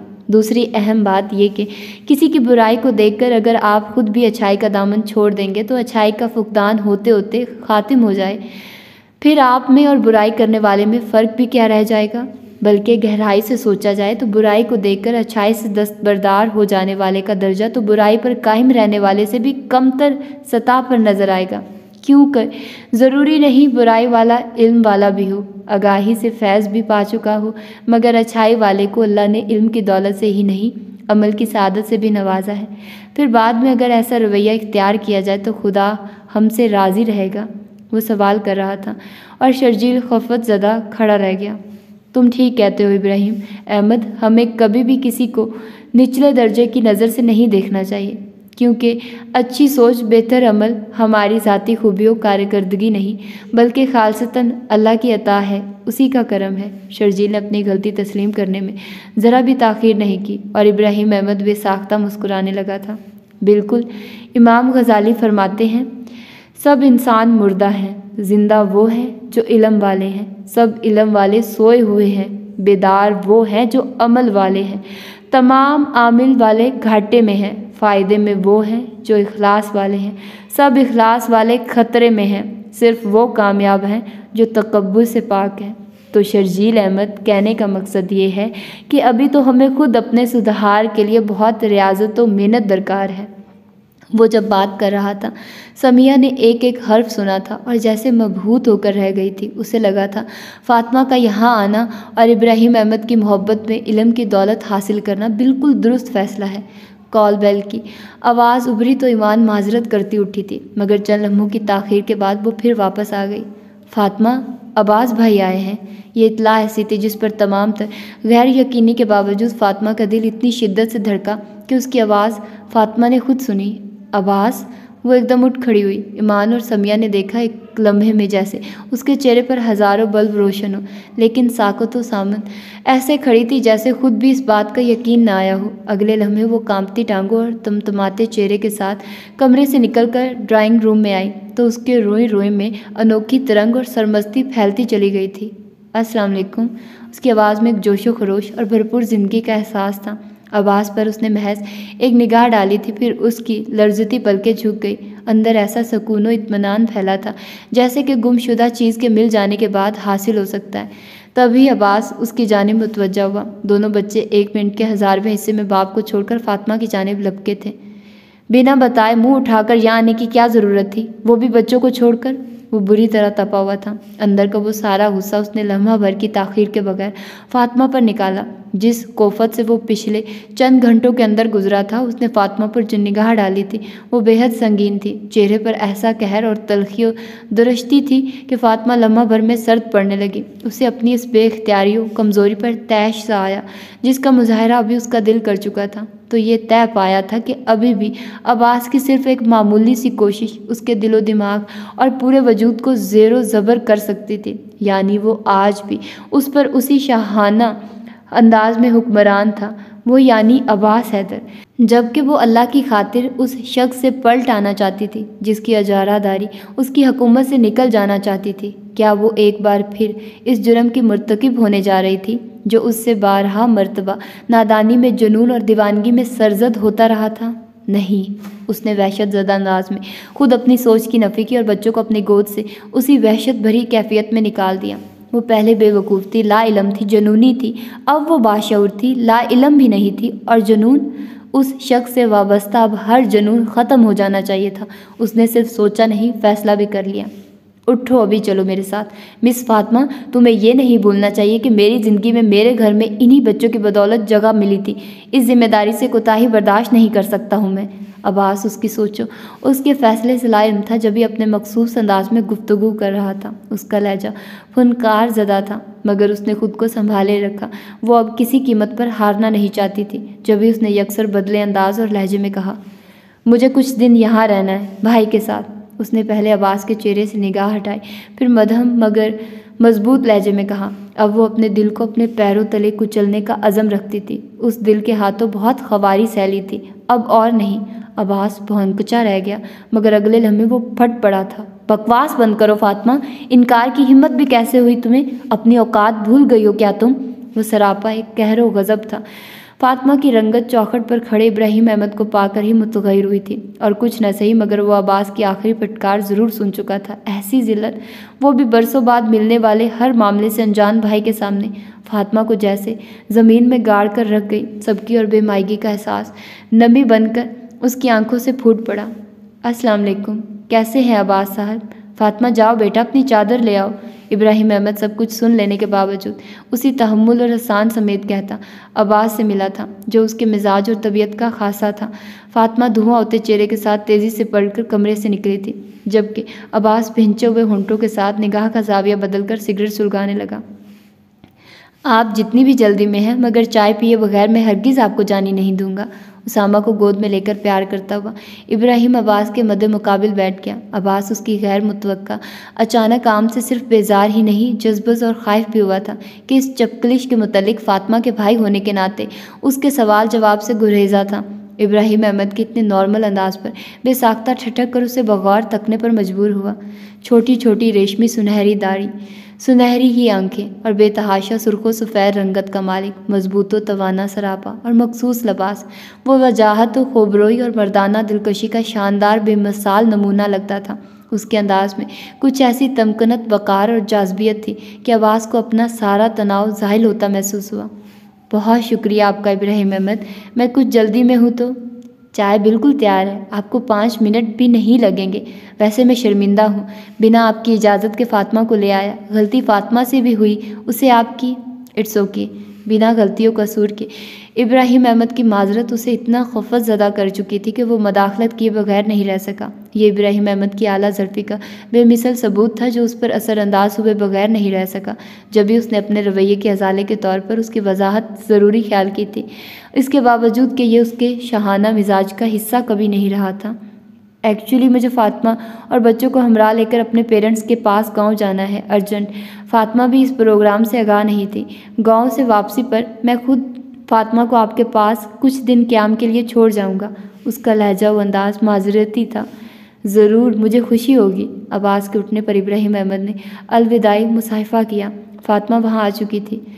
मुझसे मिलने आते रहिएगा भाई। मुझे आपकी बहुत ज़रूरत है। जिस लम्हे इब्राहिम ने फातिमा के सर पर हाथ रखा, वो भराई हुई आवाज़ में कहती, उसके शाने से लगकर आँसू बहाने में कुछ ऐसी मसरूफ़ हुई थी कि इब्राहिम अहमद भी बुखला गया था। अरे अरे, खुद को संभालो। दो बच्चों की अम्मा बनकर भी तुम ऐसे रो रही हो जैसे शादी के बाद पहली बार रुखसत कर रहा हूँ तुम्हें। इब्राहिम अहमद का लहजा। बज़ाहिर जितना भी खुशगवार सही, मगर उसकी सहर तराज सुनहरी आँखों में इस तरह साफ़ करवटें लेता नज़र आया था। ये वही इजतराब था जो एक भाई को बहन की गरस्ती के गैर पायदारी की यकीन के बाद घेरता है। आवाज़ की डांट और फातिमा के बहते आँसू साफ़ ज़ाहिर था, अंदर कोई ना कोई कहानी ज़रूर थी। मम्मा, क्यों रो रही हैं पापा? सामान्य बेकरार होते बाप से पूछा। अब्बास ने एक पुरतफिश निगाह हनूज इब्राहिम के साथ लगी खड़ी आँसू बहाती फातिमा पर डाली और गहरा सांस भरा।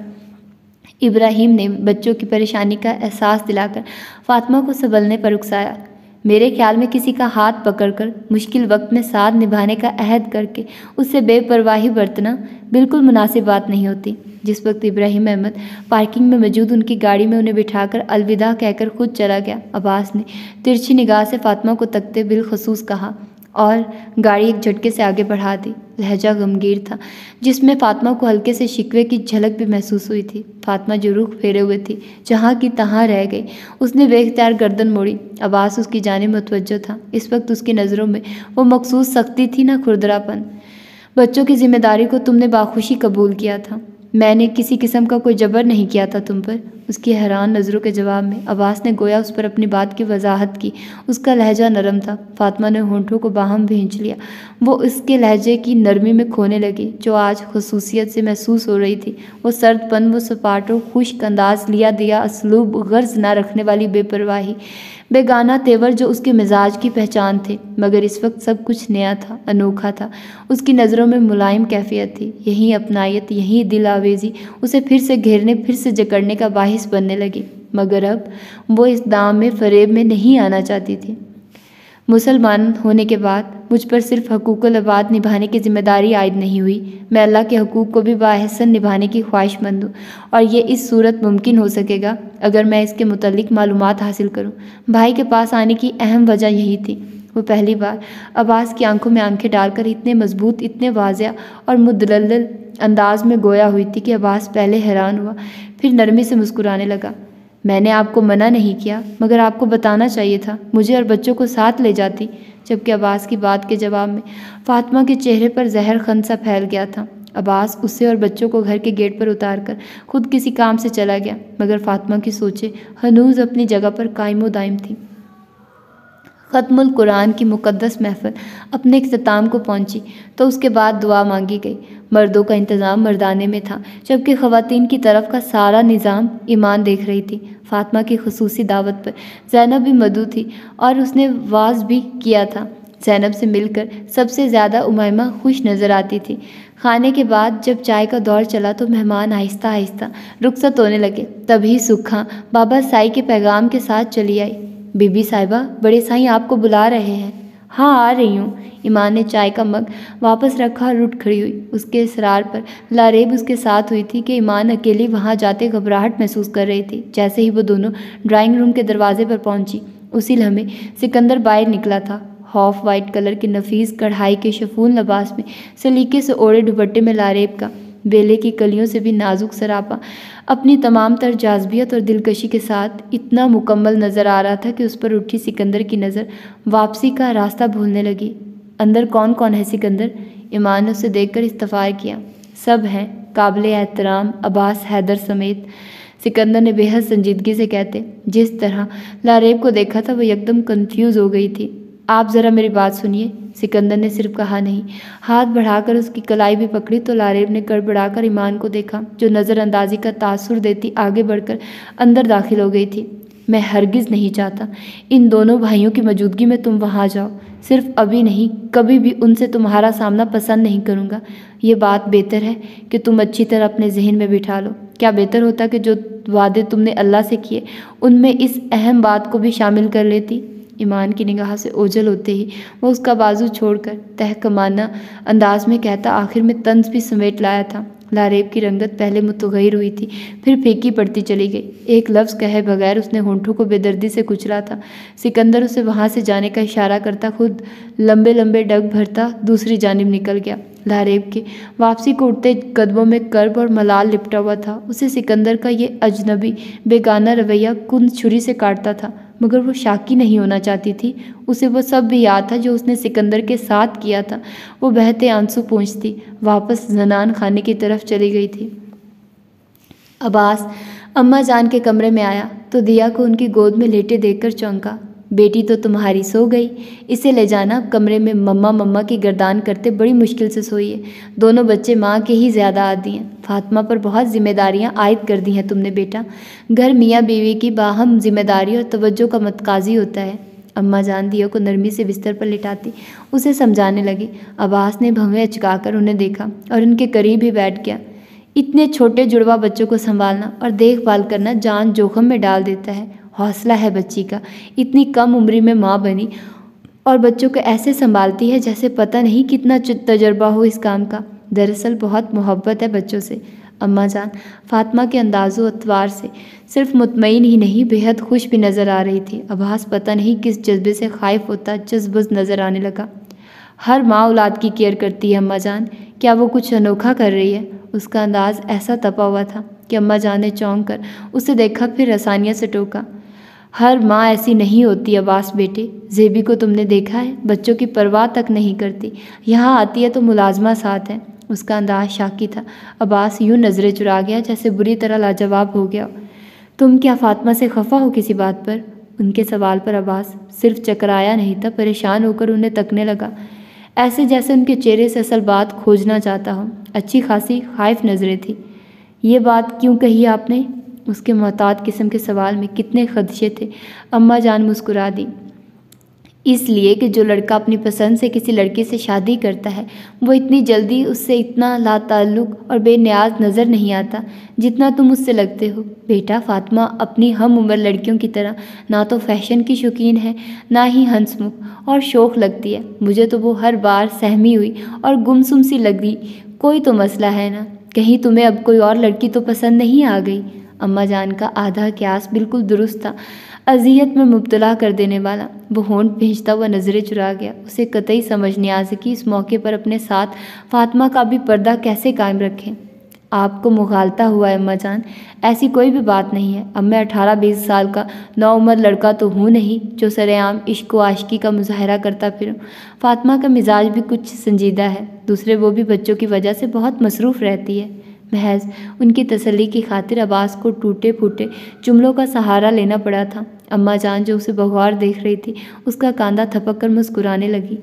ऐसी कोई बात अगर है भी बेटे तो तुम्हें ये याद रखना चाहिए कि तुम अब सिर्फ़ शादीशुदा ही नहीं हो, दो बच्चों के बाप भी बन चुके हो।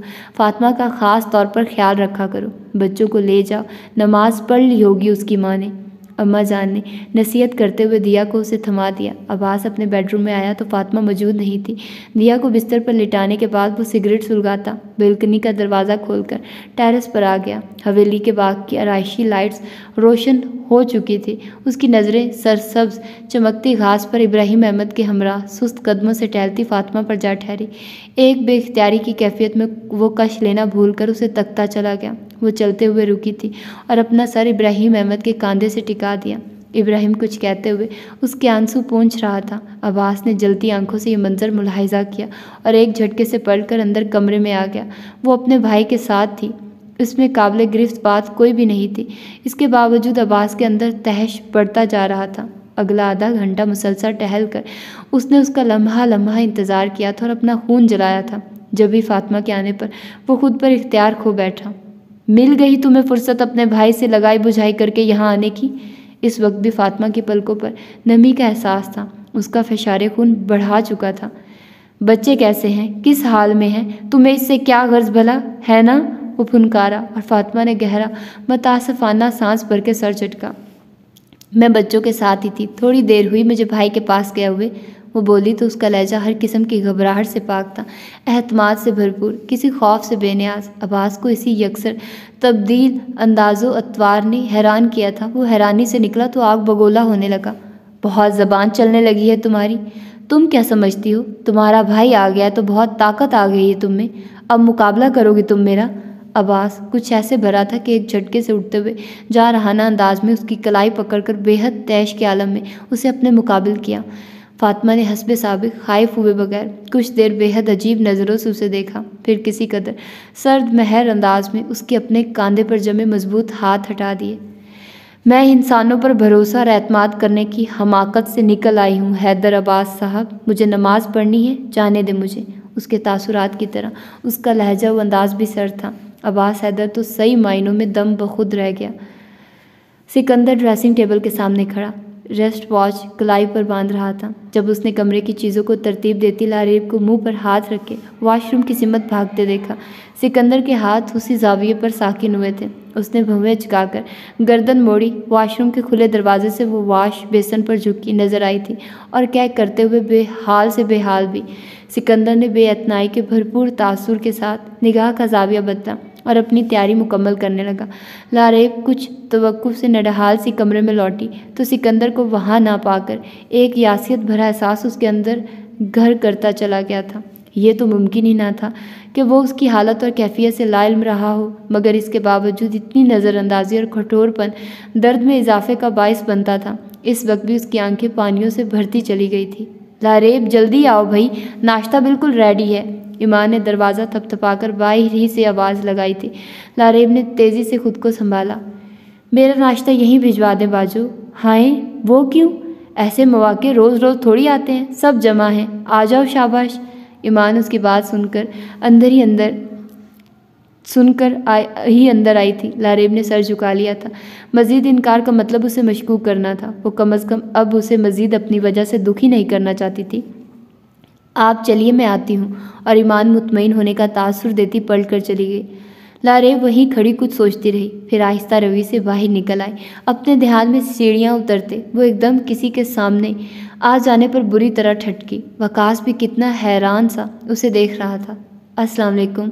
कैसी है लारेब वकास के शाइस्ता महजब अंदाज में खलूस की चाशनी थी, मगर लारेब को उसे रूबरू पाना ही बरज़ख में धकेल दिया गया था।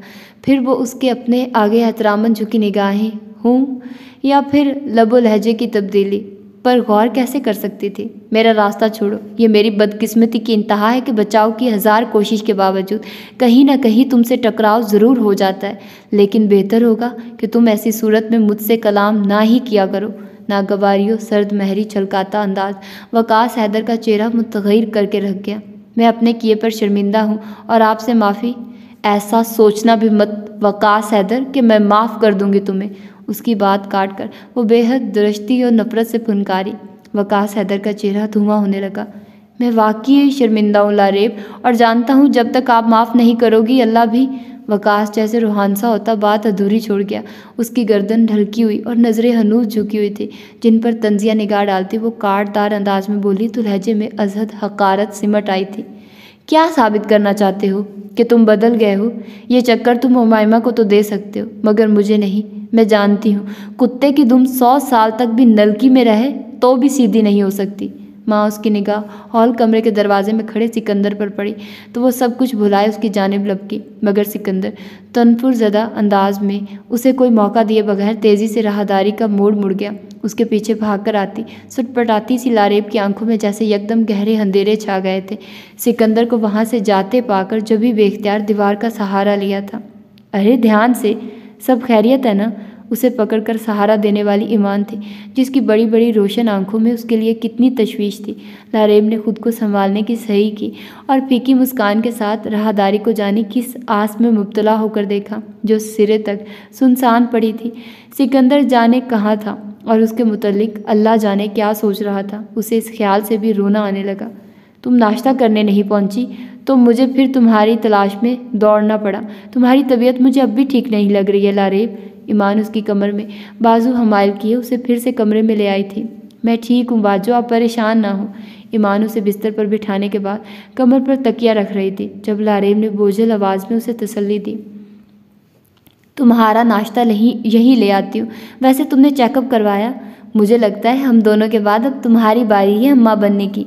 ईमान ने मुस्कुराकर कहते, उसका रुखसार छुआ लारीब का दिल इस बात पर उछल कर हलक में आ गया। ईमान ने बेहद हैरानी से उसकी फ़क होती रंगत देखी। यह घबराने की नहीं खुश होने की बात है बगली। ख़ास तौर पर पहली मर्तबा माँ बनने की खबर सुनकर तो हर लड़की गुलाब बनकर खिलती है, शर्माती है, एक तुम हो के। अच्छा बताओ, सिकंदर को पता है? ईमान उसके सर्द पड़ते हाथों को अपने हाथों में लेकर मोहब्बत पाश अंदाज में दबाती नरमी से पूछ रही थी, लारेब की आँखों में जाने किस एहसास के तहत नमी उतरने लगी।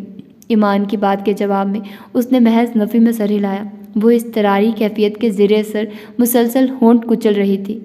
आई एम श्योर वो बहुत खुश होगा सुनकर। तुम पहली फुर्सत में उसके साथ जाकर ज़रूरी टेस्ट कराओ। फिर कंफर्म होने पर ही हम ये खबर बाबा जान के अलावा बाकी सबको सुनाएँगे।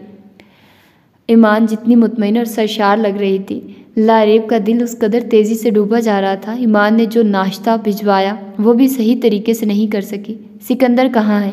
उन्हें बुलाना प्लीज़ मुलाजमा बर्तन उठाने आए।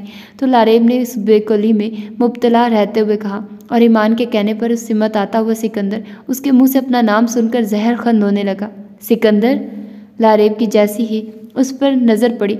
वो अपनी जगह तेज़ी से छोड़ती बेकरारी से उसकी जानी बढ़ी थी कि सिकंदर ने सर से अंदाज में हाथ उठाकर उसकी पेशकदमी को रोका। अगर तुम कोई आर्गूमेंट देना चाहती हो तो इसकी हरगिज़ ज़रूरत नहीं है। सिकंदर का पथरीला लहजा। साहब का सर्द महरी लिए, खौफनाक हद तक संजीदा था। लारेब ने हरासा होते फिर कुछ कहना चाहा था कि वो फिर इतनी उसी शदीद अंदाज में उसे टोक गया। मैंने कहा, ना, कुछ मत कहो। कहे बगैर भी मैं जानता हूँ कि तुम्हारे नज़दीक मेरी कितनी अहमियत है। सिकंदर का बर्फीला लहजा लारेब को अंदर तक तोड़ कर रख गया। ऐसा कुछ नहीं है। सिकंदर, मेरी बात तो सुनिए। बेबसी की इंतहा को छूती। वो बल आखिर रो पड़ी। सिकंदर ने पुरशिकन पेशानी के साथ एक नज़र उसे देखा। बेकरारी से सिसकती तड़प तड़प कर रोती ये लड़की। हरगिज़ भी इतनी बेमाया नहीं थी कि उसके दिल में जमी बर्फ़ को ना पिघला पाती। मगर वो पिघलना नहीं चाहता था, जब भी रुख फेर कर तेज़ी से पड़ गया। लहरें बिस्तर पर गिरी और ज़ारों कतार रोने लगी। जिस वक्त फातिमा इब्राहिम अहमद के कमरे में दाखिल हुई, उसे एक जज्ब और सरूर की कैफियत में नातिया शार पढ़ते पाया। अस्सलाम वालेकुम भाई, सुबह बखैर। उसके मुतवजा होने पर वो दिल से मुस्कुराई और इब्राहिम अहमद ने बढ़कर इस मोहब्बत व तफाक से उसके सर पर बोसा दिया। दिन में दस बार उनका आपस में सामना होता तो उसका अंदाज़ यही होता था। इतनी शफकत, इतनी मोहब्बत दे रहा था उसे इब्राहिम अहमद कि फ़ातिमा जो वालदेन से लेकर अब्बास तक की मोहब्बत के लिए जन्म जन्म की तरसी हुई थी। इब्राहिम की पुरशफ़त कुर्बत ने सारी तशनगी मिटा डाली थी। वालेकुम अस्सलाम। अल्लाह पाक तुम्हें दिनों दुनिया में भलाई आफ़ियत और कामरानी नसीब फरमाए। आमीन। इब्राहिम अहमद की दुआओं के जवाब में वो मुस्कुराई और सोफे पर टिक गई। भाभी नज़र नहीं आ रही। उसने कमरे में निगाहें दौड़ाने के बाद सवाल किया, समिया ईमान भाभी के साथ हैं। दरअसल दोनों में मोहब्बत बहुत ज़्यादा है और दोस्ती भी समी कह रही थी, भाभी अब यहीं रहेंगी तो जितना वक्त साथ गुजार लूँ कम है, इब्राहिम अहमद की।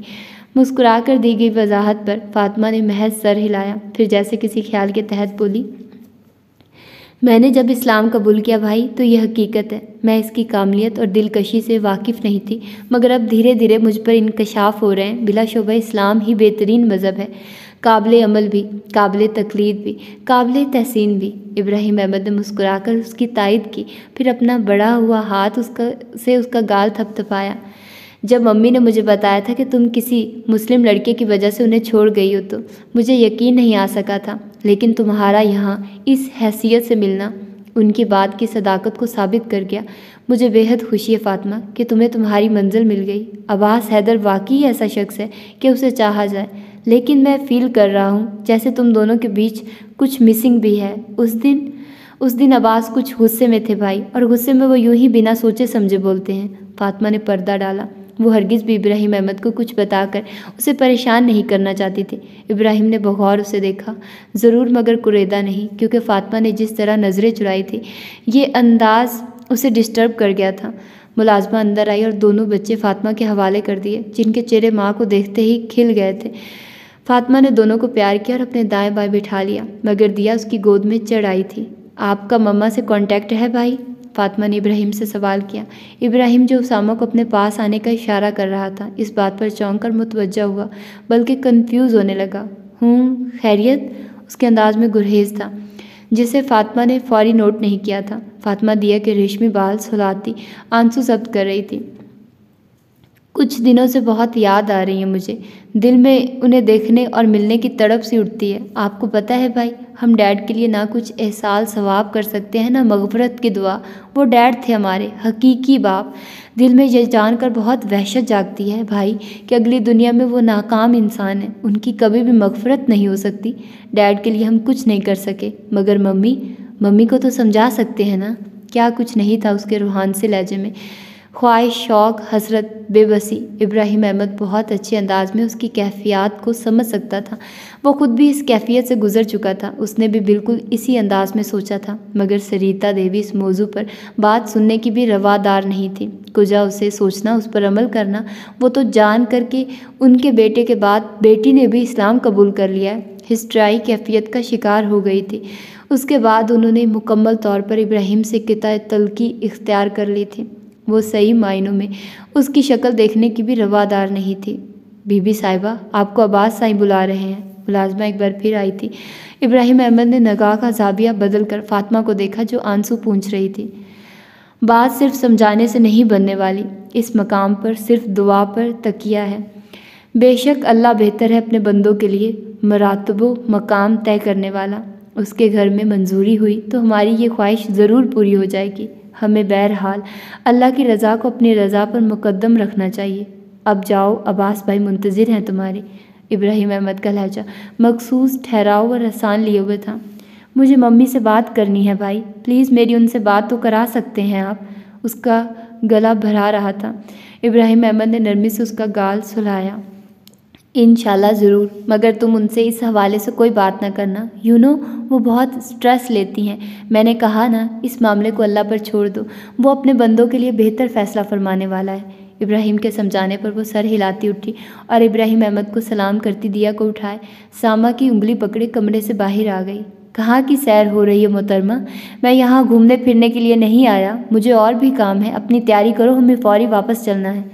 अब्बास जो कमरे में टहल रहा था, उसे देखकर कश लेना तर्क करके गहरे तन से बोला, उसकी ये सहर तारी करती हुई नज़रें कभी फातिमा को सुलगाती, पिघलाती थी, मगर अब वो नॉर्मल नज़र आ रही थी। किसी हद तक बेनियाज अब्बास को उसका यही गुरेज, यही लात तल की खार बनकर चुभने लगी।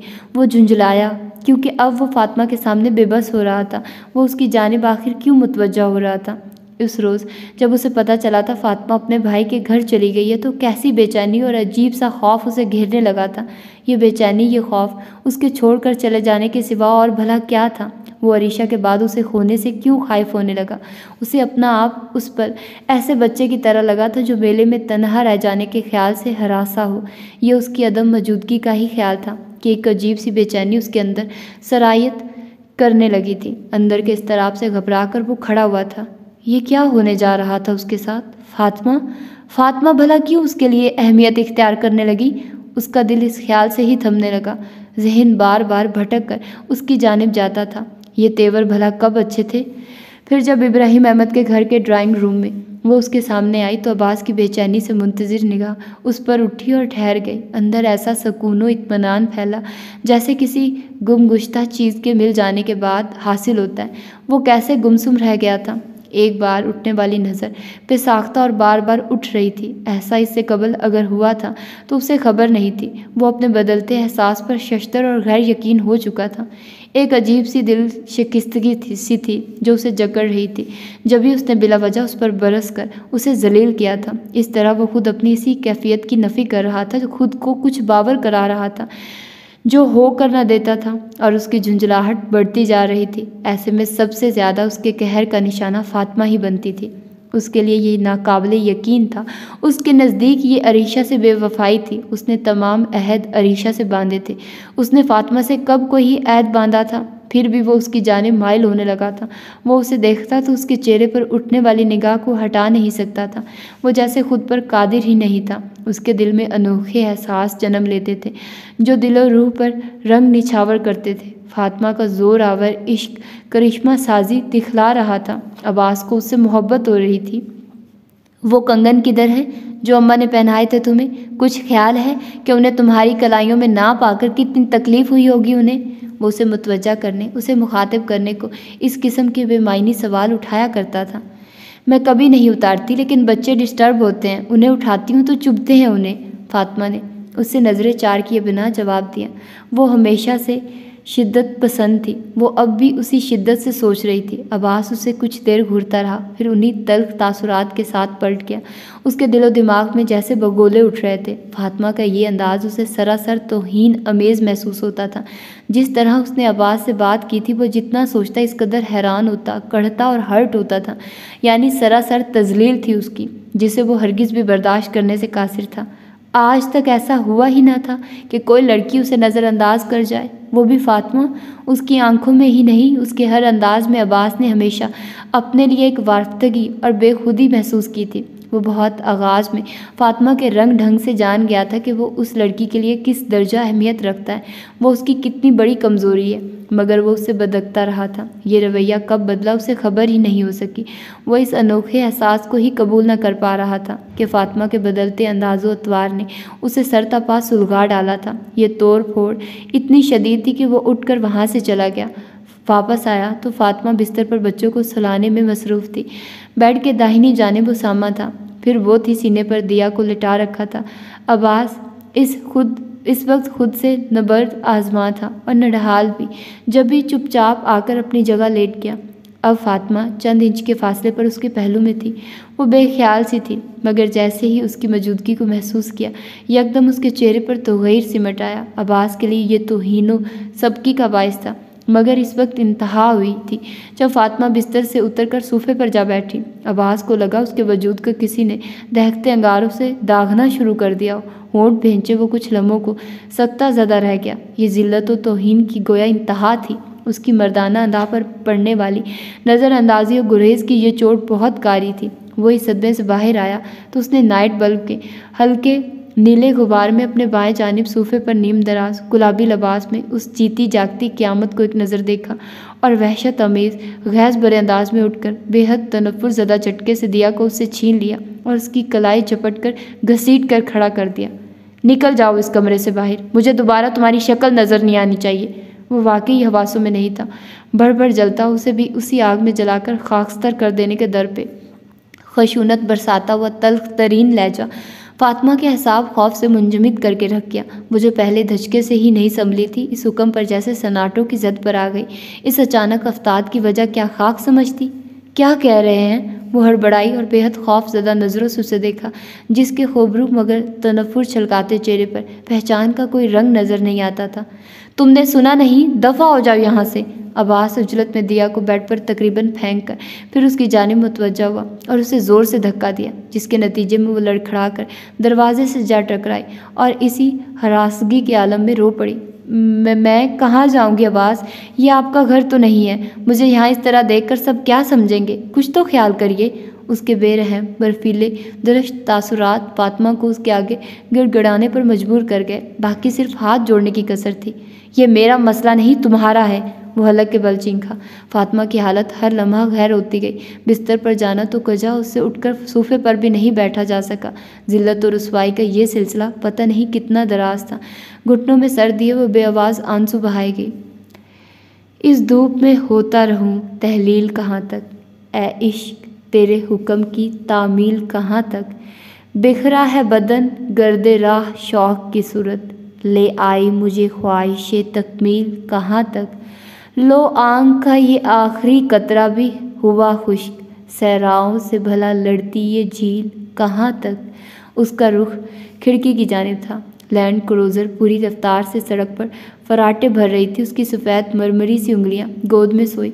दिया के रेशमी बालों में सरसराई थी और दिल में अजीब से सनाटे का राज। कैसे यकीन करती भला वो वक्त के पलटने का ऐसा कम अज़ कम उसकी ज़िंदगी में मुमकिन ना था। अब्बास की नज़रों का बेकरारी और इसतराब की कैफियत में बार बार उस पर उठना और वापसी का रास्ता भूलने लगना। उसकी तवज्जो बार बार भटकती, वो बार बार होता खाते दिल को संभालती। या अल्लाह, ये मुझे इस तरह क्यों देखते हैं अब? अब क्यों? क्योंकि मुझे इनकी तरफ़ पलटना नहीं है। अगर ये एक बार फिर मेरी आजमाइश है तो मुझे बचा ले अल्लाह पाक। अगर तू अपने बदले फिर से मुझे ये शख्स देना चाहता है तो मुझे नहीं करना ये सौदा। मैं कमज़ोर ज़रूर हूँ, मगर तुझसे मोहब्बत तो करती हूँ ना? मुझे नहीं मालूम ये मोहब्बत अब भी अब्बास की मोहब्बत से ज़्यादा है या नहीं, लेकिन मैं मैं अब धोखा खाना नहीं चाहती, नाकाम होना नहीं चाहती। मुझे इस मज़ीद खवारी से बचा ले। मुझे अकेला ना छोड़, वो दिल दिल में सिसकती थी और ख़ुद अपने आगे हार जाने से हरासा थी। दिया सो चुकी है। लाओ इसे मैं सीट पर लिटा दूँ। थक गई होगी तुम भी। अब्बास ने अचानक गाड़ी रोकी थी। फातिमा के हैरानी से मुतवजा होने पर बोला, उसका लहजा अपनाइया तमेज़ और नरम था। ऐसी नरमी लिए, जिससे वो आशनाई ही न रखती थी, मगर कभी बहुत ख्वाहिशमंद ज़रूर थी। फातिमा जवाब में, क्या एतराज़ करती? खामोश रही। दिया को उससे लेते अब्बास का हाथ, उसके बाजू से टकराया, फिर हाथ से मस हुआ। तब वो खसूसियत से उसकी जानब भी मतवजा था। फातिमा की रंगत में घुलती सुर्खी और होंठों का भेंचना महसूस करता मधम सा मुस्कुराया। फातिमा का दिल डूबने लगा। यह जानकर, यह सोचकर उसकी मुस्कान फातिमा के लिए आज भी उतनी ही जानलेवा थी। बेख्तियार वो सिर्फ़ नज़र ही नहीं, रुख भी फेर गई। वो हरगिज़ भी खुद को कमज़ोर करना, इस आग में जलकर भस्म होना नहीं चाहती थी। तुम अभी तक मुझसे खफा हो। सॉरी, फातिमा, मैं परेशानी इस तरह में मुबतला होकर अक्सर तुम्हें हर्ट कर देता हूँ। दिया को पिछली सीट पर सोए हुए उसामा के साथ लेटाकर वो वापस अपनी जगह पर आया तो गाड़ी स्टार्ट करने से कबल पूरी तवज्जो उस पर मरकूज कर दी। फातिमा का दिल सीने में ऐसे फड़फड़ाने लगा, जैसे बाहर आग गिरने को बेताब हो, वो सख्ता ज़्यादा बैठी रह गई थी। कमाल की मकना तीसियत रखने वाला मर्द। जिसे औरत के हवासों पर छाने के लिए ज़रा सी भी मेहनत न करनी पड़ती हो, जिसके नरम लहजे और खुशगवार नज़र को खुशकिस्मती का पैमाना समझा जाता हो, उसकी जानब से इस किस्म का इजहार हवास सल्ब कर ले तो अजब क्या है? माफ़ नहीं करोगी मुझे आवास ने कहा और हाथ बढ़ाकर उसके सभी गाल को चुमती बालों की लिट पकड़कर नरमी से अपनी उंगली पर लपेटी। फातिमा थर थर कांपने लगी। उसकी हवास बाख्तगी का आलम भी देखने से ताल्लुक़ रखता था।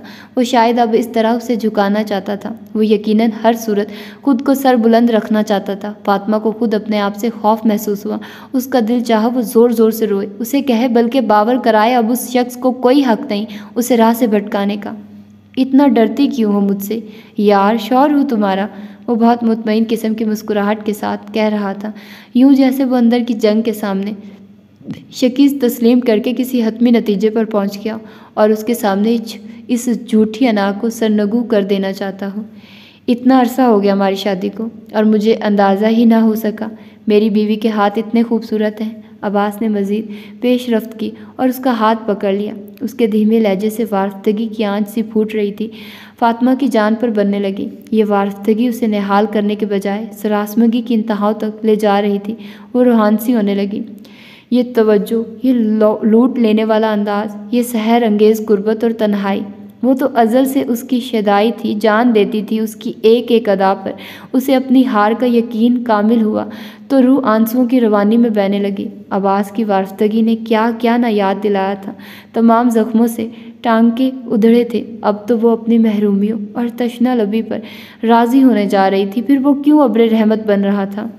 कल जब लारेब के यहाँ वो लोग घर जाने के बजाय बड़ी हवेली आ गए थे, तब भी आवाज़ के यकसर बदले रंग ढंग ने उसके लिए ऐसे ही हवास सल्ब किए थे। बाबा जान नूर के अकीके के साथ उसामा और दिया के भी इस फ़र्ज़ से सब दोष होना चाहते थे, जब भी आवाज़ को भी रोक लिया था।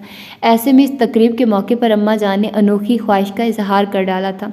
उसके सामने वही मैरून साड़ी पहनने की फरमाइश, जिसके मुतलिक आवाज़ की कहर, अमेज़ तन भी अच्छी तरह याद थी। उसे जब भी वो अम्मा जान के सामने बहाने बनाती, थकने लगी थी। और आवाज़, और बात बन भी जाती अगर इन्हीं लम्हों में अब्बास भी कमरे में ना पहुँच जाता। कुछ कहे बगैर वो खामोशी और आसान से सारी बात सुनता रहा था। फातिमा को गुमान तक ना था। उसकी सारी तवज्जो उन्हीं की गुफ्तगु की जानब है। वो तब हैरान बल्कि हौनक रह गई थी। जब उसने खामोशी से वो साड़ी बैग से निकाल कर फातिमा के सामने बेड पर रख दी। झूठ बोलना बहुत गलत बात है, फातिमा। अम्मा जान की ख्वाहिश इतनी बेजरर है कि आपको हरगिज़ कोई फ़र्क नहीं पड़ेगा। अगर आप इसे पूरा कर देंगी, फातिमा को जैसे सख्ता हो गया और अम्मा जान निहाल उसे जल्दी तैयार होने का कहती, खुद बाहर चली गई कि आज उनकी मसरूफियत आम दिनों से कहीं ज़्यादा थी। मैंने अगर इस वक्त ये बात कही थी तो वो हरफ आखिर तो नहीं होनी चाहिए। खफा नहीं हुई है प्लीज़ वो सर झुकाए, खामोश और गैर यकीन बैठी थी। जब अब्बास ने अगली बात कहकर उसे मज़ीद गुमसुम कर दिया, वो हवासों में लौटी तो फिर उससे ही नहीं, खुद से भी खौफ ज़्यादा होकर भागी थी। साड़ी बाँध कर बालों को समेटती, वो बाहर कमरे में आई तो अब्बास हैदर की अपनी तैयारी आखिरी मराहल में थी। खुद पर परफ्यूम का स्प्रे करते हुए उसने फातिमा को खसूसी नज़रों से देखा। ऐसी नज़रें जो उसे रंग जाया करती थी, दिल धड़काने का सबब बना करती थी। वो कहाँ कहाँ, किस किस मकाम पर खुद को मज़बूत करती। इस वक्त वो बिल्कुल हवास पाख्ता हो गई थी, जब अब्बास ने उसके कपकपाते हाथों की ढीली गिरफ्त से बार बार नेकलेस की हुक को फिसलते देखकर खुद उस काम को कर दिया था। वो दग से रह गई थी, वो सरता पा दहक उठी। उसने देखा वो आईने में उसके मुकाबिल खड़ा था। आईने ने गवाही दी उन दोनों की जोड़ी चाँद, सूरज की जोड़ी है। निक सिक से तैयार वजाहत और मर्दानगी का शाहकार, उस पर अमारत का तड़का और सबसे बढ़कर अपनी खूबियों से आशनाई ने आँखों में एक एहसास, तफाकुर सब्त कर दिया था। वो आज भी बिजली का लपका था, जो भस्म कर देने की सलाहियत रखता था। एक ऐसा कोंदा था, जो दिल ही नहीं जलाता था। रूह भी खाकस्तर कर डालता था। आज भी उसके चेहरे पर नज़र टिकाना एक इम्तिहान था।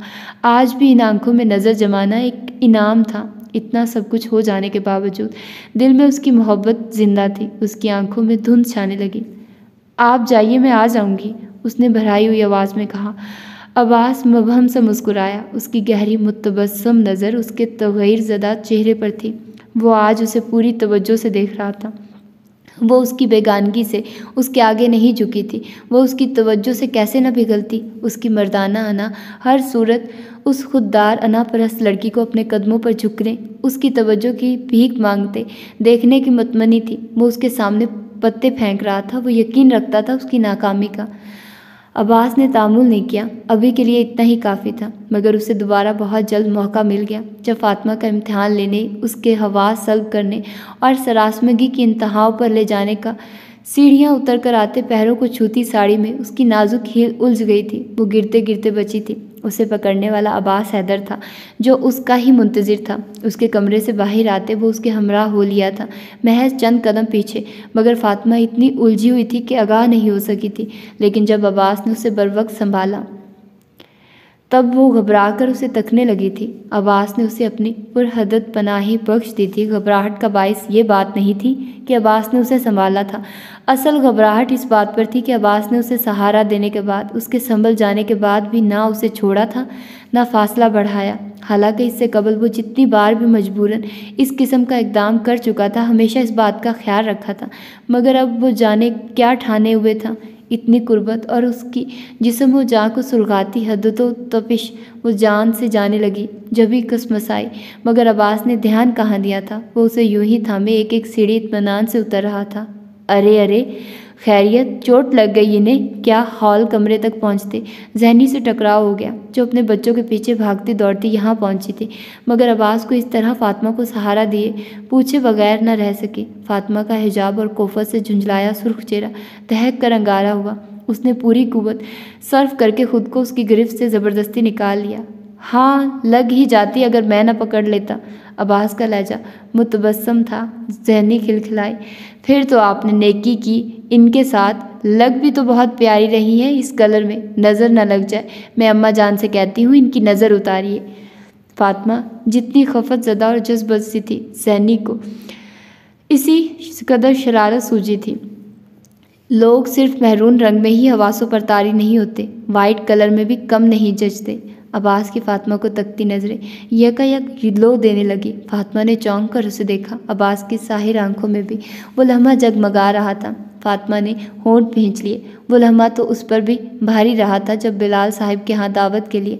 फातिमा ने हर अंजाम की परवाह किए बगैर कितने दिल से खुद इस सतमगर के लिए सवारा था। महज उसकी एक सताइशी निगाह की चाह में। लेकिन वहीं नहीं मिल सकी थी उसे। अब्बास का उसे वहाँ साथ ले जाना एक मजबूरी ही था। कि वो बिलाल साहिब को इनकार नहीं कर सका था। वो उनका उतना ही एहतराम करता था, लेकिन फातिमा को देखकर उसका मूड यकलख्त सवा नेज़े पर जा पहुँचा था। हालाँकि ये दूसरी नज़र थी जिसमें कहर गैस था। पहली निगाह उस पर डालकर वो भी हवास खोने सा लगा था। बालों को समेट कर चमकीले कैचर में जकड़ती फातिमा ने आईने में उसकी झलक देखी। तो बेख्तियार उसकी जानब घूम गई थी। तो उसका फर्श को छूता सफ़ेद रंग का फिराक भी सात चक्कर लगा गया था। अब्बास को लगा था उसका वजूद ही रोशनी से बना हो। सही मायनों में मबहूत कर देने वाला मंजर था गोया। चांदनी ज़मीनी पर उतरी हुई हो, वो हैरान सहर ज़दा सा। उसके सामने खड़ा उसे देखता था और फातिमा वो जैसे अपनी कामयाबी पर नाजा होती चली गई थी। उसकी ख्वाहिश पूरी हो गई थी। अब्बास चौंक गया, अपनी बेखुदी पर खफत ज़दा, उसकी इस जहद पर कहरो गैर से भरने लगा। उसके बाद जो मुँह में आया, वो वही बोला था, हर लफ्ज़ आतिशी था, जिसने एक बार फिर फातिमा को बिखेरा, तोड़ा और रेज़ा रेज़ा करके पैरों में फेंक दिया। वो उसके ऑर्डर पर जाकर कपड़े बदल आई थी और चांदनी, चांदी के जैसे नाजुक खेल मखमली, सफ़ेद पैरों से अलग करके रखती, फिर कभी ना पहनने के लिए। उसकी आँखों की सुर्खी बताती थी। वो रो कर आई है। अब्बास की हमराही का फ़ख्र उसकी संगत के जबर ने मदूम कर डाला था। उस रोज़ उसके उलझे हारे बेबस नढहाल अंदाज ने उस पर वाजह कर दिया था। उसने जान लिया था पूरे माहौल पर सहर तारी करता स्याह डिनर सूट में मलबूस। वो शख्स पूरे का पूरा उसका हो कर भी उसके लिए नहीं था। कभी हो भी नहीं सकता था। आइए, मैं अम्मा जान के पास ले चलूँ आपको। कुछ पढ़कर दम कर देंगी। जेबी उसे अम्मा जान के पास ले आई। उन्होंने उस पर आयतल कुर्सी का दम किया। कितने चाव थे उसके, कितने अरमान, मगर वो गुमसुम नज़र आती थी और आवाज़ लम्हा ब लम्हा उसके साथ उसकी जानब मतवजा और उसकी तवज्जो का तालिब मगर वो किसी और ही जहाँ में गुम लगती थी। उसकी इस अदम तहजी के, सब के साथ अम्मा जान ने भी महसूस कर लिया था। जभी तो कितना परेशान हो गई थी। वो शायद इसलिए उन्होंने उसे तन्हाई में बिलखसूस समझाया भी था। तुम्हें तो अपनी औलाद और शोहर पर हक जतलाना भी नहीं आता है बेटे, ये गलत है। वो उससे पहले कितना उससे पूछती रही थी। उसका आवाज़ से झगड़ा तो नहीं हुआ, कोई और ऐसा मामला, मगर वो हर बात के जवाब में सर नफ़ी में हिलाती थी। तब अम्मा जान ने गहरा सांस भरा था। आवाज़ बहुत शिद्दत पसंद है बेटे। मैं माँ हूँ उसकी, जानती हूँ। वो इस वक्त तुम्हारी तवज्जो का तालिब है। तुम्हें उस पर तवज्जो देनी चाहिए। देखो बेटे, बीवी अगर शोहर की परवाह ना करे, अपना हक ना जतलाए, प्यार की लड़ाई ना लड़े तो शोहर अपने अंदर कोई खामी ढूँढने लगता है। वो खुद को ऐसे यतीम बच्चे की तरह महसूस करता है। जिससे उसकी माँ और बाप की मोहब्बत और शफकत छीन गई हो। अब्बास में भी मैंने यही कैफियत महसूस की है। मैं मानती हूँ, तुम्हारे बच्चे छोटे हैं, तुम बहुत ज़िम्मेदार हो, मगर बेटे, शोहर को भी नज़रअंदाज ना करो। वो हर बात से अनजान थी। वो उन्हें बताती भी क्या? सो खामोश रही, रह ही रही। मगर अब्बास का ये अंदाज़, ये अतवार अब उसके लिए कम अज़ कम काबिल कबूल नहीं था। जब भी वो सब जब्त गवा कर बेकरारी और वहशत भरे अंदाज में रो पड़ी, उसके आँसू बेताबी से टूट कर बिखरे और अब्बास शशदर रह होने लगा। क्या हुआ? उसे लगा उसके सारे पत्ते बेकार गए हैं। उसे हैरत की बजाय गैर यकीनी घिरने लगी। क्या उसके सारे क्यास गलत थे? उसने खुद से सवाल किया, बल्कि क्यास किया। उसे यकीन था, फातिमा मरती है, उस पर जान देती है। फिर अब घर चलें, प्लीज़। अब्बास के हाथ अपने कांधे पर महसूस करके दहशत भरी झरझरी लेकर बोली, तुम्हारी तबीयत ठीक है, फातिमा? अब्बास सब कुछ भूलकर परेशान नज़र आने लगा। फातिमा की घबराहट उसके लहजे पर दोहरी होने लगी। वो लम्हों में जर्द पड़ रही थी। अब्बास की तशवीश में इजाफा होने लगा। उसने गाड़ी तेज़ी से आगे बढ़ाई, मगर इससे पहले फातिमा को बोतल थमाई। चंद घूंट तो लो, तबीयत संभलेगी तुम्हारी, उसके नफ़ी में सर हिलाने पर। वो इसरार कह रहा था। फातिमा मज़ीद इनकार नहीं कर सकी, मगर उसने एक घूंट भी नहीं लिया था। उसकी बिगड़ती हालत पर ही अब्बास ने शहर के मजाफात के नज़दीक गाड़ी को रोक दिया था। बाहर आओ, थोड़ी देर खुली हवा में सांस लो, बेहतर महसूस करोगी खुद को। अब्बास ने सिर्फ़ कहा नहीं, बल्कि निकल कर उसकी जानब का दरवाज़ा खोलकर उसे सहारा देकर बाहर आने में मदद भी दी, मगर वो उसके हाथों में ही बिखरती चली गई। कब से उनका ताकुब करती, ब्लैक गाड़ी से फायर हुए थे और फातिमा खून में नहाती चली गई। तो ये थी उसकी चौदहवीं एपिसोड और सच में मुझे ऐसे लग रहा है, मैं बिल्कुल भूल चुकी हूँ। आगे, इसके आगे क्या होता है, मुझे खुद भी बहुत ज़्यादा इंतज़ार हो रहा है कि मैं इसको पढूँ। लेकिन जनाब, आज इस वक्त मैंने दो एपिसोड मतलब आज मैंने दो एपिसोड पढ़ी हैं। तीन मैंने पहले पढ़ी थी और दो मैंने अब पढ़ी हैं। मतलब मैंने एक ही दिन में इतनी ज़्यादा एपिसोड्स पढ़ी हैं, पाँच एपिसोड्स पढ़ी हैं।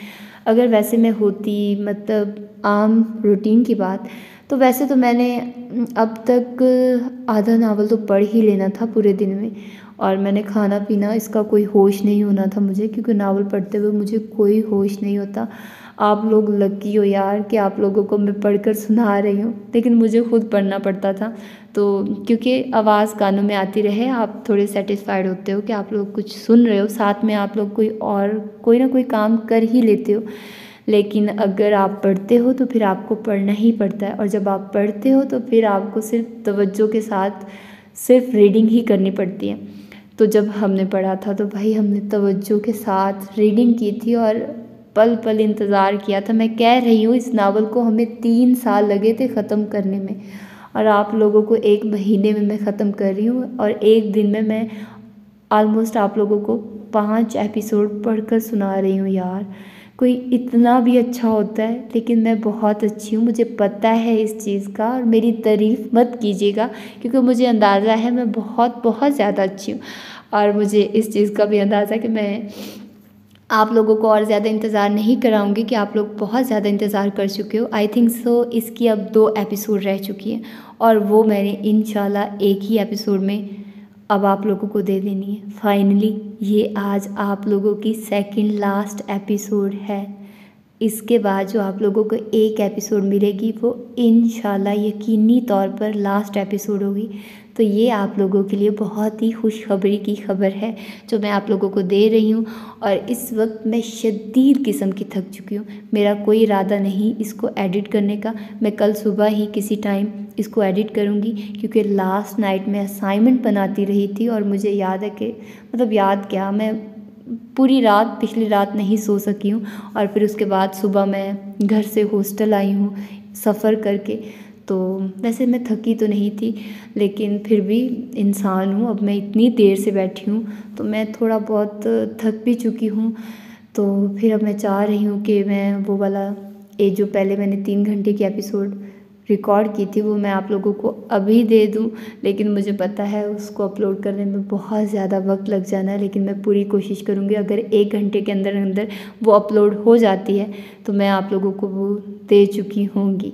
अभी खैर मैं ये सारी बातें इसलिए बता रही हूँ कि मैं ये करने जा रही हूँ अभी, लेकिन आप लोगों को बाद में पता चलेंगी बातें जब आप लोग सुनोगे, क्योंकि इसको बाद में एडिट किया जाता है और यकीन जानिए एडिट करने के बाद एक घंटा ऑलमोस्ट लगता है उसको सेव होने में और फिर उसको अपलोड होने में भी काफ़ी टाइम लगता है। ये इतना आसान नहीं है, ये इतना ईजी नहीं है ईजी नहीं है ये। खैर तो बस आप लोग अपना ख्याल रखिएगा, मुझे दुआ में याद रखिएगा। मिलते हैं इंशाल्लाह इसकी फाइनली इसकी आखिरी एपिसोड में। अल्लाह हाफिज़।